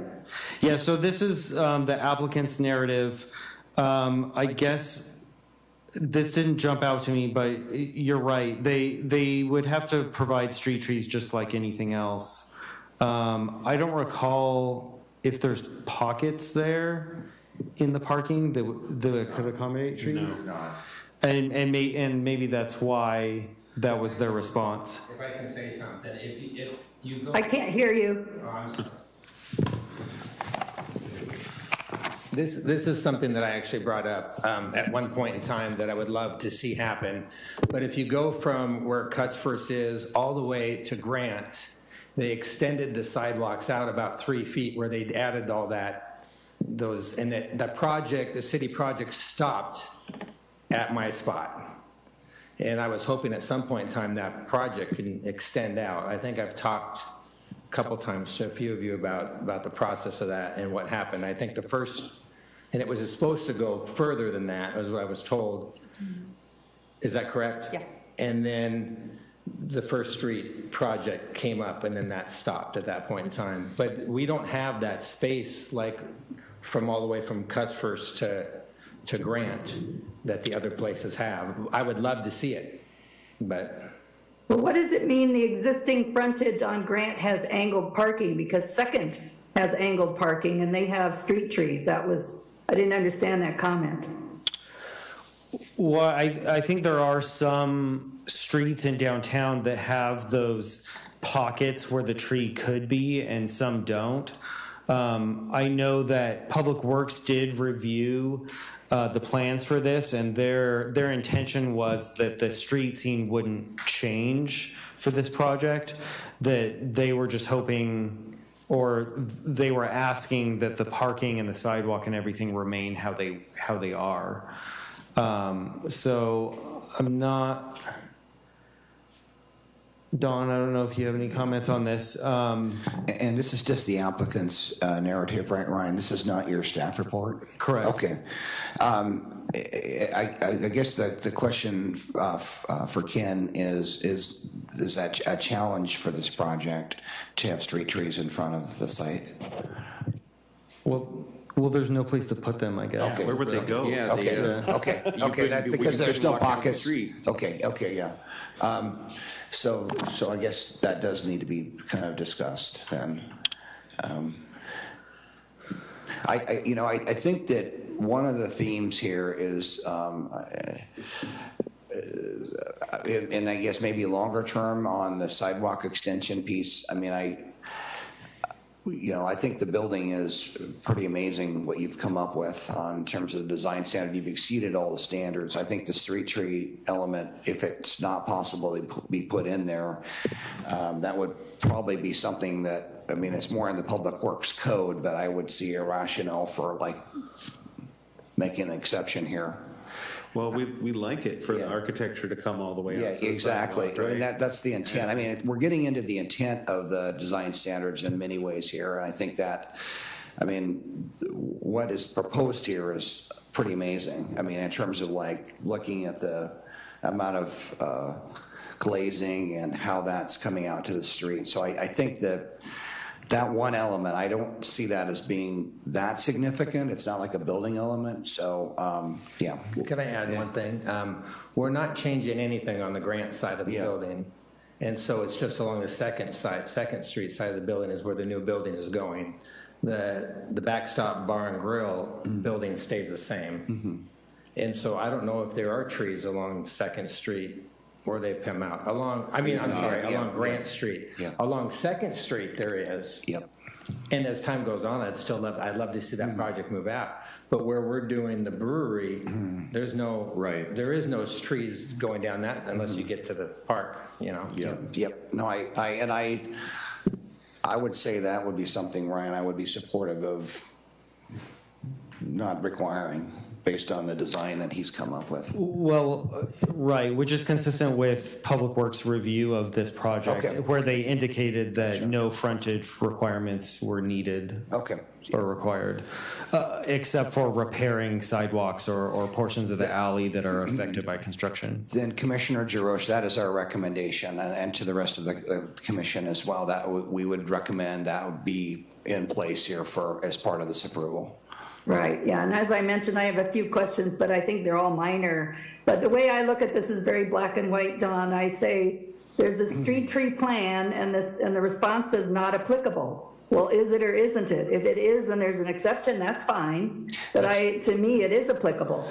And I would say that we are saying it's consistent with the intent by Okay. not, by not having the street trees would be how I would, we would make a finding to that effect. Okay, Yeah. And then uh, the next one is the drive-up uses. This came up a lot during the, you know, COVID. Um, not applicable, but several stores or restaurants have a spot with a sign that's, you know, basically saying this is for people like Grubhub or whoever. So is that not considered a drive-up use? i Um, I think, I, I don't believe so. I think my belief, a drive up would not be a Grubhub con- parking spot. I mean, that seems like. Okay. That, that, yeah, that would be like a drive up for like a ba- bank or like I Burgerville. would or- consider that a drive-through, but Yeah, okay. that, yeah. Yeah, I, I, I do think that's maybe not for this project, but as we go into our transportation system plan update uh, later this year, I think curb management is going to be one of the things we're discussing and uh, from a policy standpoint, which Yeah. involves how do you accommodate some of those more modern uh, delivery and pickup services. Um, Yeah. But it, but in this and I've been in some meeting with some other cities and their downtown historic districts and how they've had to manage that in the last few years. So yeah, it's an ongoing discussion. I just had a question about that terminology, drive up versus drive through. My next one is on 16. It's item F2. Uh, Sidewalks, a minimum of 11 feet in width shall be required in commercial locations. And then the response says this, the existing sidewalks is eight feet. They do not plan to change the width. So my question is, because they're tearing the building down, does that mean we grandfather the old sidewalk width? Or do we require the current 11 feet width if they're going to tear the building down? This was something we had discussed internally amongst staff and amongst departments, and all departments were comfortable with them matching existing. And yes, you're correct, they are tearing down the building. Um, But the, the massing and the elevation of the wall plane um, would match what's next door. Um, And I would just like to add, uh, Commissioner Jaros, that's, that is the existing building edge, which is again consistent with bringing the building up to the face of the public realm. Um, And again, back to the shortage of the three feet that might be added by the city over time, you know, that would make up the difference. That's on the other side and right away. That would be Okay. my opinion on that. So I would agree that with Ryan on what he's saying. Right. And, and I The would. applicant isn't planning to change it because the city's agreed to grandfather it, and I understand the design implications and all that, so, okay. Uh, Then on the same page, number F4, uh, let's see, uh, shall be oriented to the street, the main entrance shall be oriented, the proposed building has the main entry off North Grant within three feet of the right-of-way. I'm not sure, I just, a question of ignorance, what is, what is that right-of-way exactly? The person. Um, Commissioner Drosh, give me one second to, to read this section. Well, I, I would say in this case, the right-of-way is the sidewalk, which is part of the public realm. Um, And in this case, I believe that the front door is actually planned to be exactly three feet from that front elevation plane. The, the entryway is re- recessed a little bit from the sidewalk. Um, So I, I think that, that one's, as stated, is, is correct. Okay, so it's the sidewalk. In, the- in this case, yes. Okay, thank you.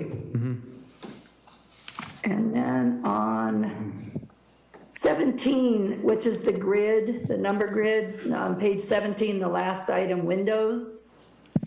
Um, And I just noticed this because I always do the math. um, The windows regularly spaced, and if it's, the response is, the score is one out of two, and we know this is a very high scoring, but two is highlighted. So I'm not sure I understand. Should, shouldn't one be highlighted? Well, in, in the staff report, I actually, um, we, uh, sorry, I'm losing my words here. Uh, we scored the, this table slightly different, um, from the applicant team in a couple ways, and that was one of them. And we actually thought that it was worth two, that they had scored two points with the level of glazing that's on this front facade. Um, that it's it's definitely seventy percent or more. Um, and so, regardless of what the applicant had said, we awarded them two points. Okay, but the way it stands, this is not correct. Right, and I and Okay, it's that's yeah, fine. Yeah. There's a You know, I couple looked through different these ways. With a fine tooth comb, just to see, you know, if I understand what it's saying or not, so that's, Sure. that's all the questions I had about that. Thank you, Commissioner Drosh. You're welcome.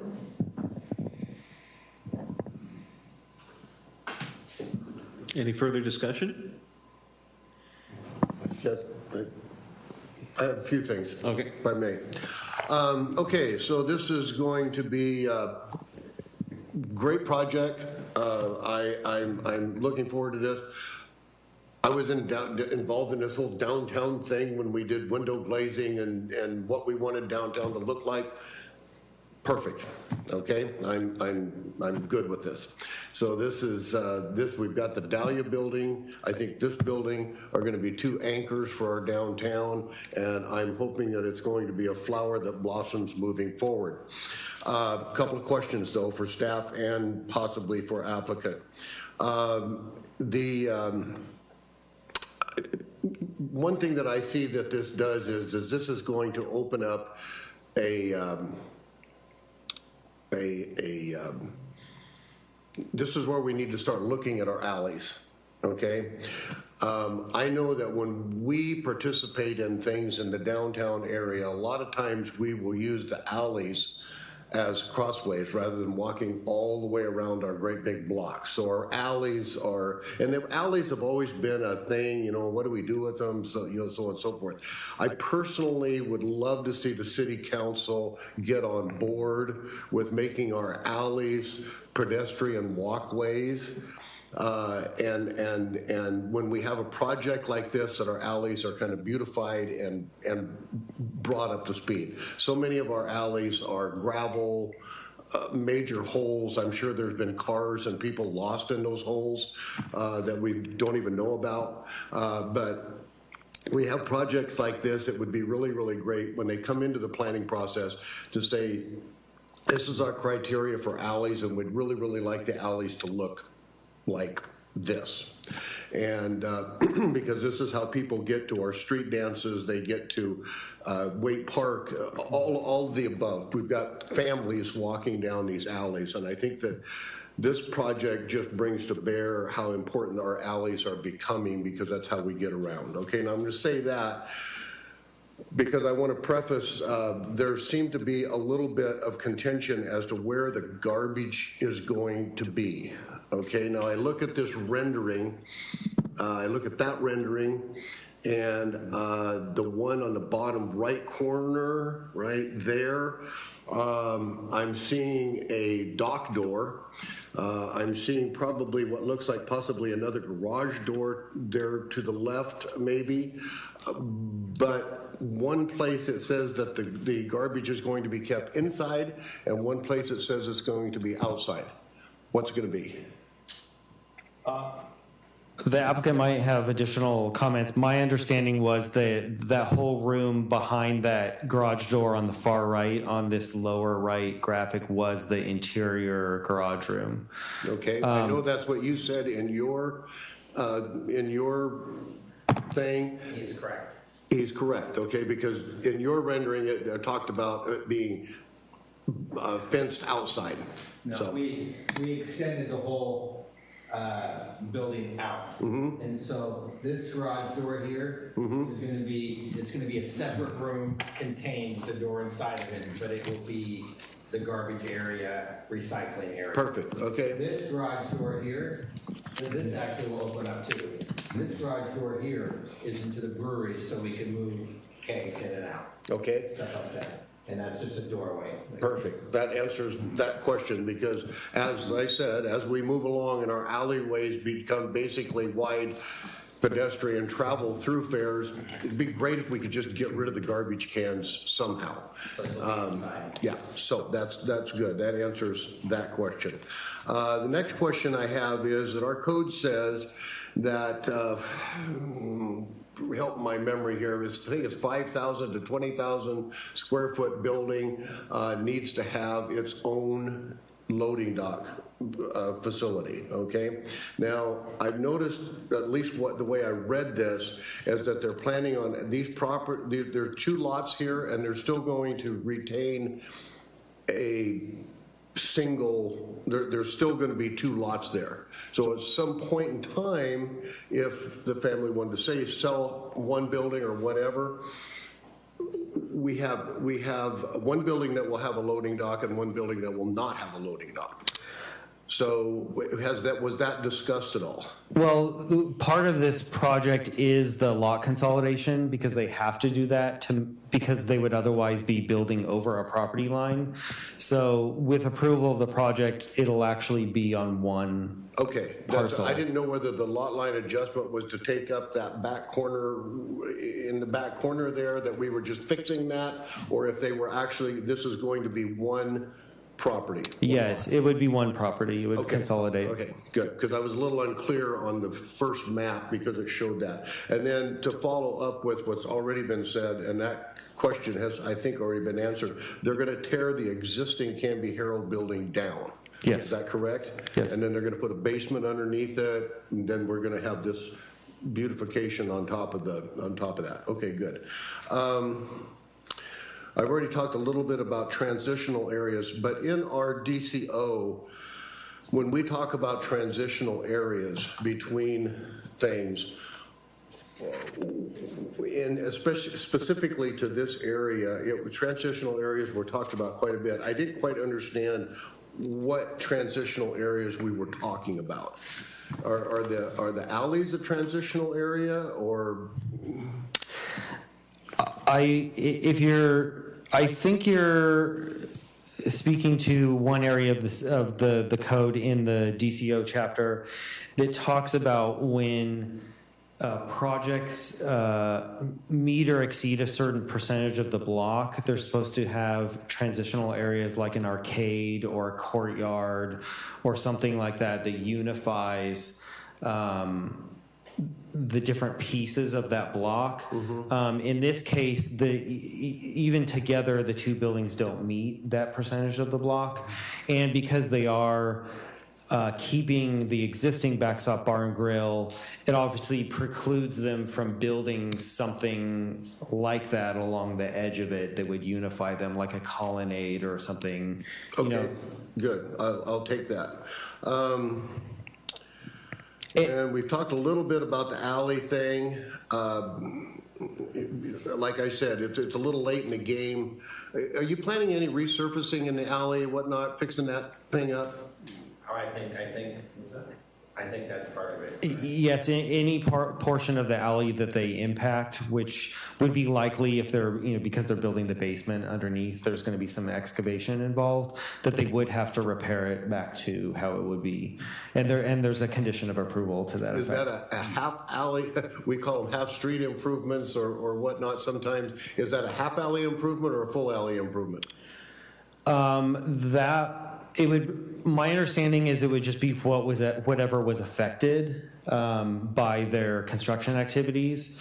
Um, but that would be something that the applicant would have to work out, um, during the, uh, pre-construction conference with Public Works. Okay, okay. Um, We talked about the street trees. Uh, I think that that would be something I would love to see the city keep that, move that project on down uh, the street and, and get that, uh, get that taken care of. Um, The, um, I'm trying to think if I got anything else here. I think that's about it. Oh, one other thing. Uh, We've got the, um, we've got the, um, is it a dentist office that's across the alley from you? Uh, Doc, uh, No, it's a lawyer. a lawyer office? Okay. So that lawyer office has got some parking behind it. And as valuable as our parking is downtown and with the attention that this is going to draw, I'm just wondering if we shouldn't have the uh, applicant put some signs up just for the benefit of the other landowners, that that parking lot is not available for um, uh, Backstop Bar and Grill and Brewery and Italian Restaurant and all things food, um, uh, to have some signage in there. I, I would like to see a, a a requirement for that. You have a problem with that? No, there, there's already signage there. Oh, there is? Yeah, Okay. I didn't see it. I didn't look, I was looking left. I didn't look right when I went down the, go back down to the his alley. Parking spot, he has a sign that says just for his parking. Okay, good. So that's that, because I, I, I know that I cheat and park in his parking lot when we do something downtown, so it's, it's a, it- Yeah, there I are- just say it right now, let's get the tow truck out. Um, so yeah, that's, uh, as long as that signage is there, I don't think that I've got, you know, parking is, it's an issue, but it's gonna be an issue with anything that we have downtown. And I would really, really encourage the city council to, if, if there becomes, a lot becomes available or whatever, to, to buy it and pave it, so we've got some parking. That would be my thing. Talk to Frank, get that. But that's ours, the, um, there, that is all public parking over by the cinema. So there is a Okay. large public parking for people to utilize when they come downtown and spend their money. All right, very good. Uh, I was also going to say really quickly, the, the law office that you refer to, I believe that's the letter of support that we got was from that particular business owner. Mhm. No, I'm sure they take clients to lunch really close. Okay. I- I- I just wanted to Other than s- that, I, I have no, uh, no other, no other gigantic issues with this. I think it's a, a project that will do our town well, and I hope other people are watching this, and I hope it's successful so we get more, because that's what we need down there. I'm done prophonicating now.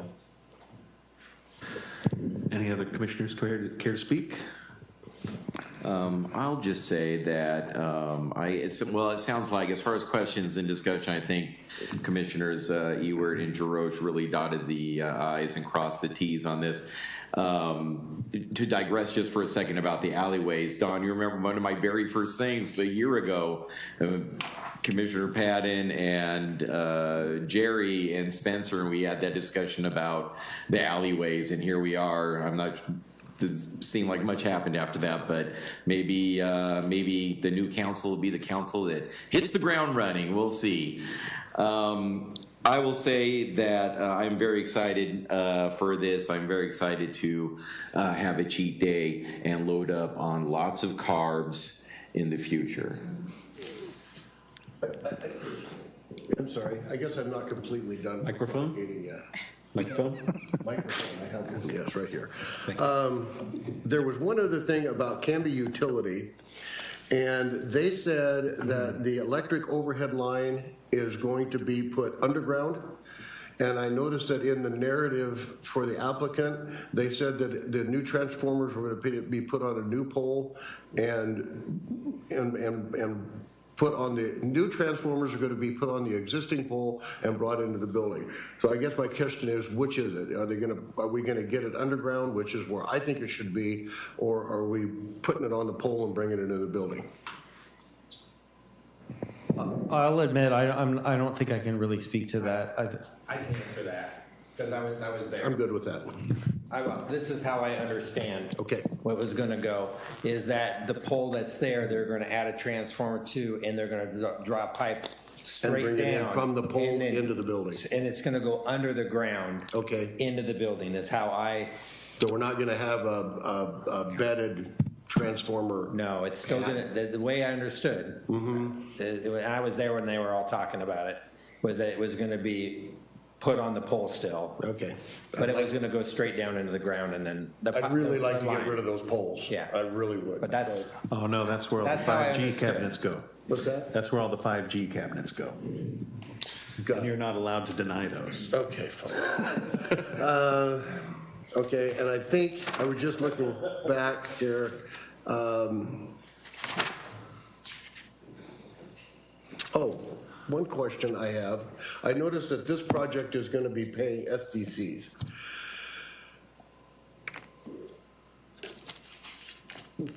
When a project like this goes in downtown and they pay, pay SDCs, that, does that just go into a pot?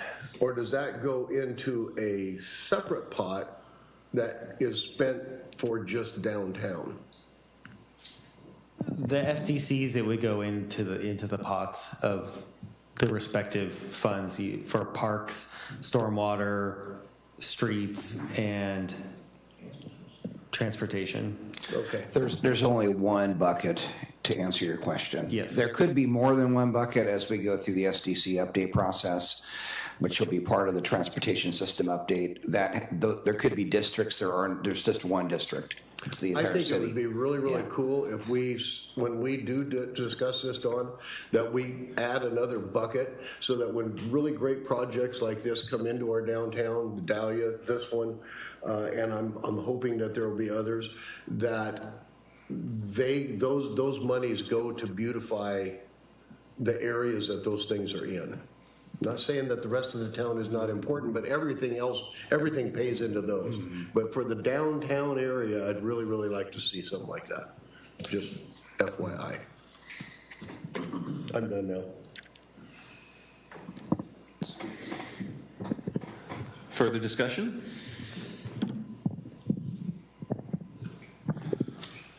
All right, do we have a motion from anyone? Mr. Chair, I would like to make a motion that we approve the DR twenty-two 5 slash LLA. Do I need to do two, or can we do it in one motion? Uh, LLA twenty-two 5 Backstop Brewing as submitted. Um, Did we have any other additions that we should put to this? I think with the recognition that, um, uh, that uh, uh, the um, existing, we- those are the two, two items where the existing sidewalk is, you know, is not needing to be extended and that the uh, street trees are being waived for the project.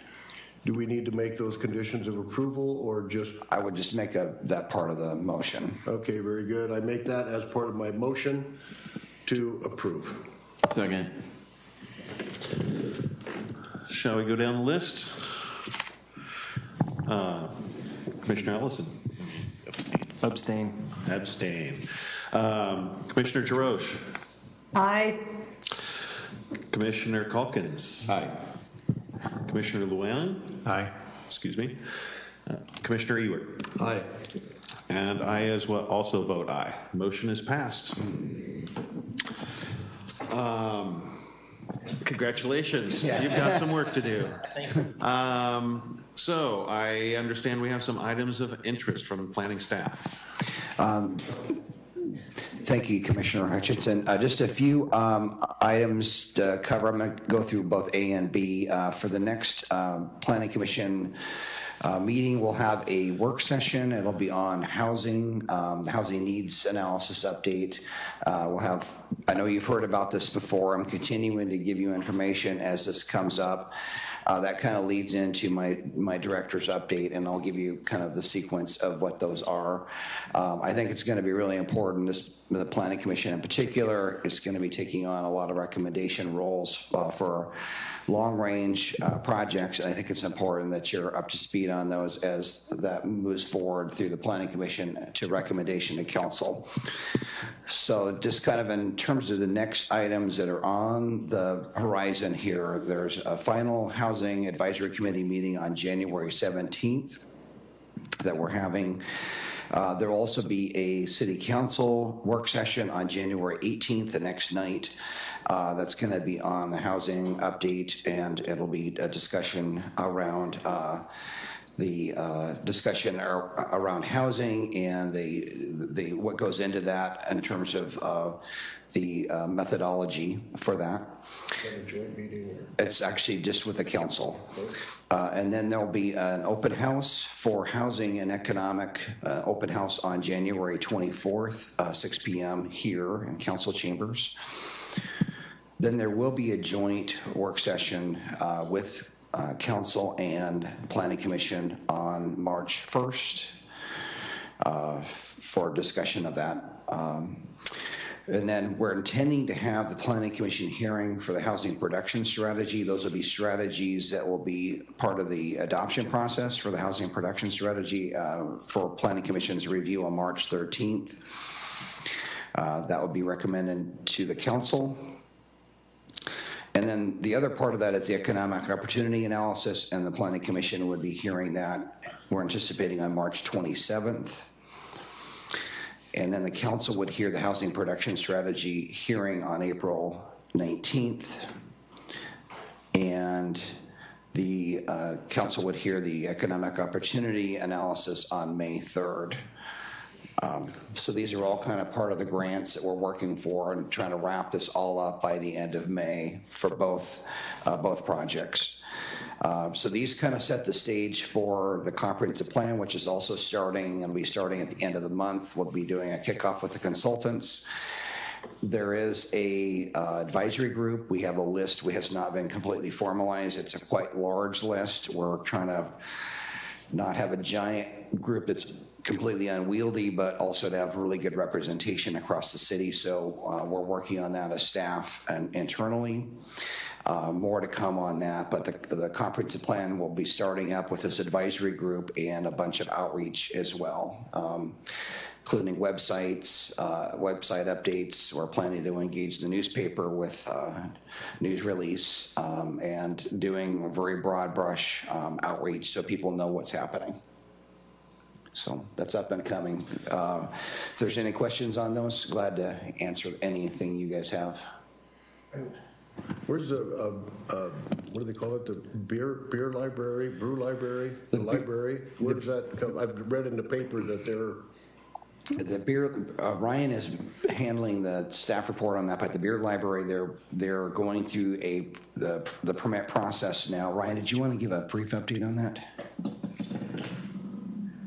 Yes, I don't believe they've submitted yet, but the- there, there will be a, a redesign coming of that, um, consistent with what you saw in the news. sounded like in Um, the paper like they had submitted, but they haven't submitted yet? Uh, I'm not sure. I don't believe they've formally submitted, but they've, they've had a, a pre-application conference. So the, the ball has been rolling with re, us reevaluating the, the revised project. I, I read in the Oregonian that the OLCC submitted and they're gonna break ground in spring. That's what I heard too. Yeah. No? They have not, su- May- May- they- they've, they've not submitted their application, so that's, yeah, we, yeah. Great.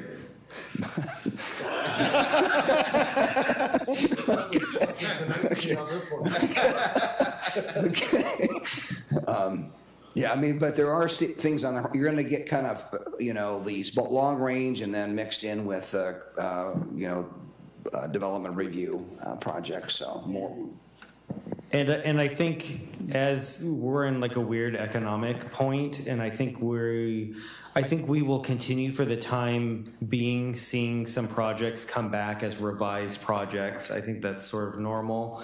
So I would, I would expect that several things that you might have already reviewed, you know, might, might come back. I, I wouldn't be surprised by that. Uh, Some of those are through modification processes. Thank you, Ryan, on that. And then Jamie mentioned that there'll be an update for, on the beer library by the applicant, uh, I- I- or is the council on next Wednesday, so, for the council meeting. So that'll be on the discussion part there as well. Excellent. Anything else? Walnut, uh, oh, yeah. Parkway. Walnut Street Extension. Um, The latest on that is that um, there, the application for the Oregon Department of Transportation access permit has almost been submitted. Um, This is being driven by uh, Kurt McLeod. They're doing the work with uh, DKS. They're really close to the final um, submittal on that. Uh, Ryan and I were in a meeting last week also with Canby Utility, and there's some items there that on water, looking at water use in that area as well, that's, uh, will likely be added into that mix, so it's addressed, so there's a co- a cohesive uh, review of utilities when that happens. It is a priority project. Uh, It does need to get going and, and moving forward. Um, We see that as a critical link to both um, traffic relief as well as that Area J that we think will end up providing uh, a good mix of uses out there um, long-term. All right, well, I have an announcement, an exciting announcement. It's exciting for me, and maybe exciting for some of you. Gordon in the booth, your, your wife will be really excited to hear that this was my last planning commission. I will have to resign tonight. Um, and uh, it's, uh, you know, fully, it's been such a pleasure and honor to to serve on this board, and I think I've I've agreed and disagreed with everyone here, and that's the sign of a good, vibrant board. And it's always been really thoughtful and respectful. And I would have loved to have continued on. And I think my wife would have continued to win election after election, but with our uh, our current careers and our uh, the exciting things happening with our hip hop duo. Um, we are moving on from Canby to uh, to other environs, and so um, that uh, yeah, I would decided to uh, make this sort of my last one. I think. Um, Oh, I had a bunch to say, but now I'm I'm uh, I'm forgetting. But but uh, it's just it's just really been an honor. Oh, I wanted to thank the people of Canby on our uh, social media pages for viewing and sharing some of a certain number of our uh, hip hop videos. The views really helped propel our career, and so um, so I know it, it's, it's probably unexpected, but but it really is. We're, we're in April. We'll be uh, performing in Minneapolis, um, and then uh, hopefully we'll be doing kind of a West Coast, maybe a tour or something like that. Um, if you want to follow, uh, everything's on chriswaffle.com. That's where all the tour dates will be. Um, and uh, my wife started a very exciting, uh, really high profile, big job. And we're doing a lot of traveling. And we just thought it's probably best to, to move on to new and exciting adventures. Um, I want to thank the staff, especially. Um, you guys have been awesome. Thank you for making the job of a commissioner so easy to understand um, for me, all the hard work you do. Send my uh, thanks to uh, Brianna uh, as well, and and all of your your hard work um, and and all those. You know, I had to read it all, but you actually had to make it. You know that really takes it to a, a whole nother level. So um, thank you for that. Um, you know i'll still be around. I'll be back for aragati's for sure. Um, and the beer library and all that stuff will still be around. But um, anyway thank you. Thank you all. And and good luck uh, chair ellison and vice chair Ewert. You guys are going to do a great job Chris, you Was that a motion? I vote no.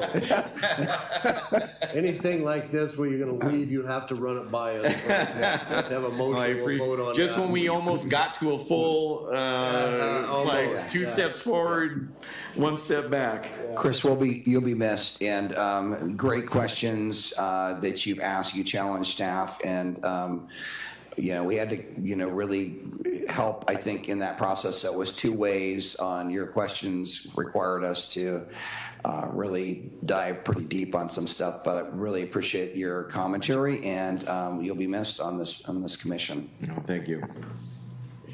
I'd like to say something as well. It's one of the things that I think that you really brought is how uh, how it all affects the the different. The planning commission tends to look at we look at paperwork, but it, it, it's really about the people and where they live and how they interact with their environment. And uh, appreciate you bringing that into the conversation when you did. Um, as for myself, hopefully this will be my last chair for the planning commission. I plan to continue to run another term, and I am very happy to hear that we have a chair and a vice chair that are enthusiastic to move forward, and I can move back to the margins where I belong. uh, and with that, I'll entertain a move, move to adjourn. I move to adjourn this meeting. Second. All those in favor? Aye. Meeting is adjourned. Thank you, everyone. Bye.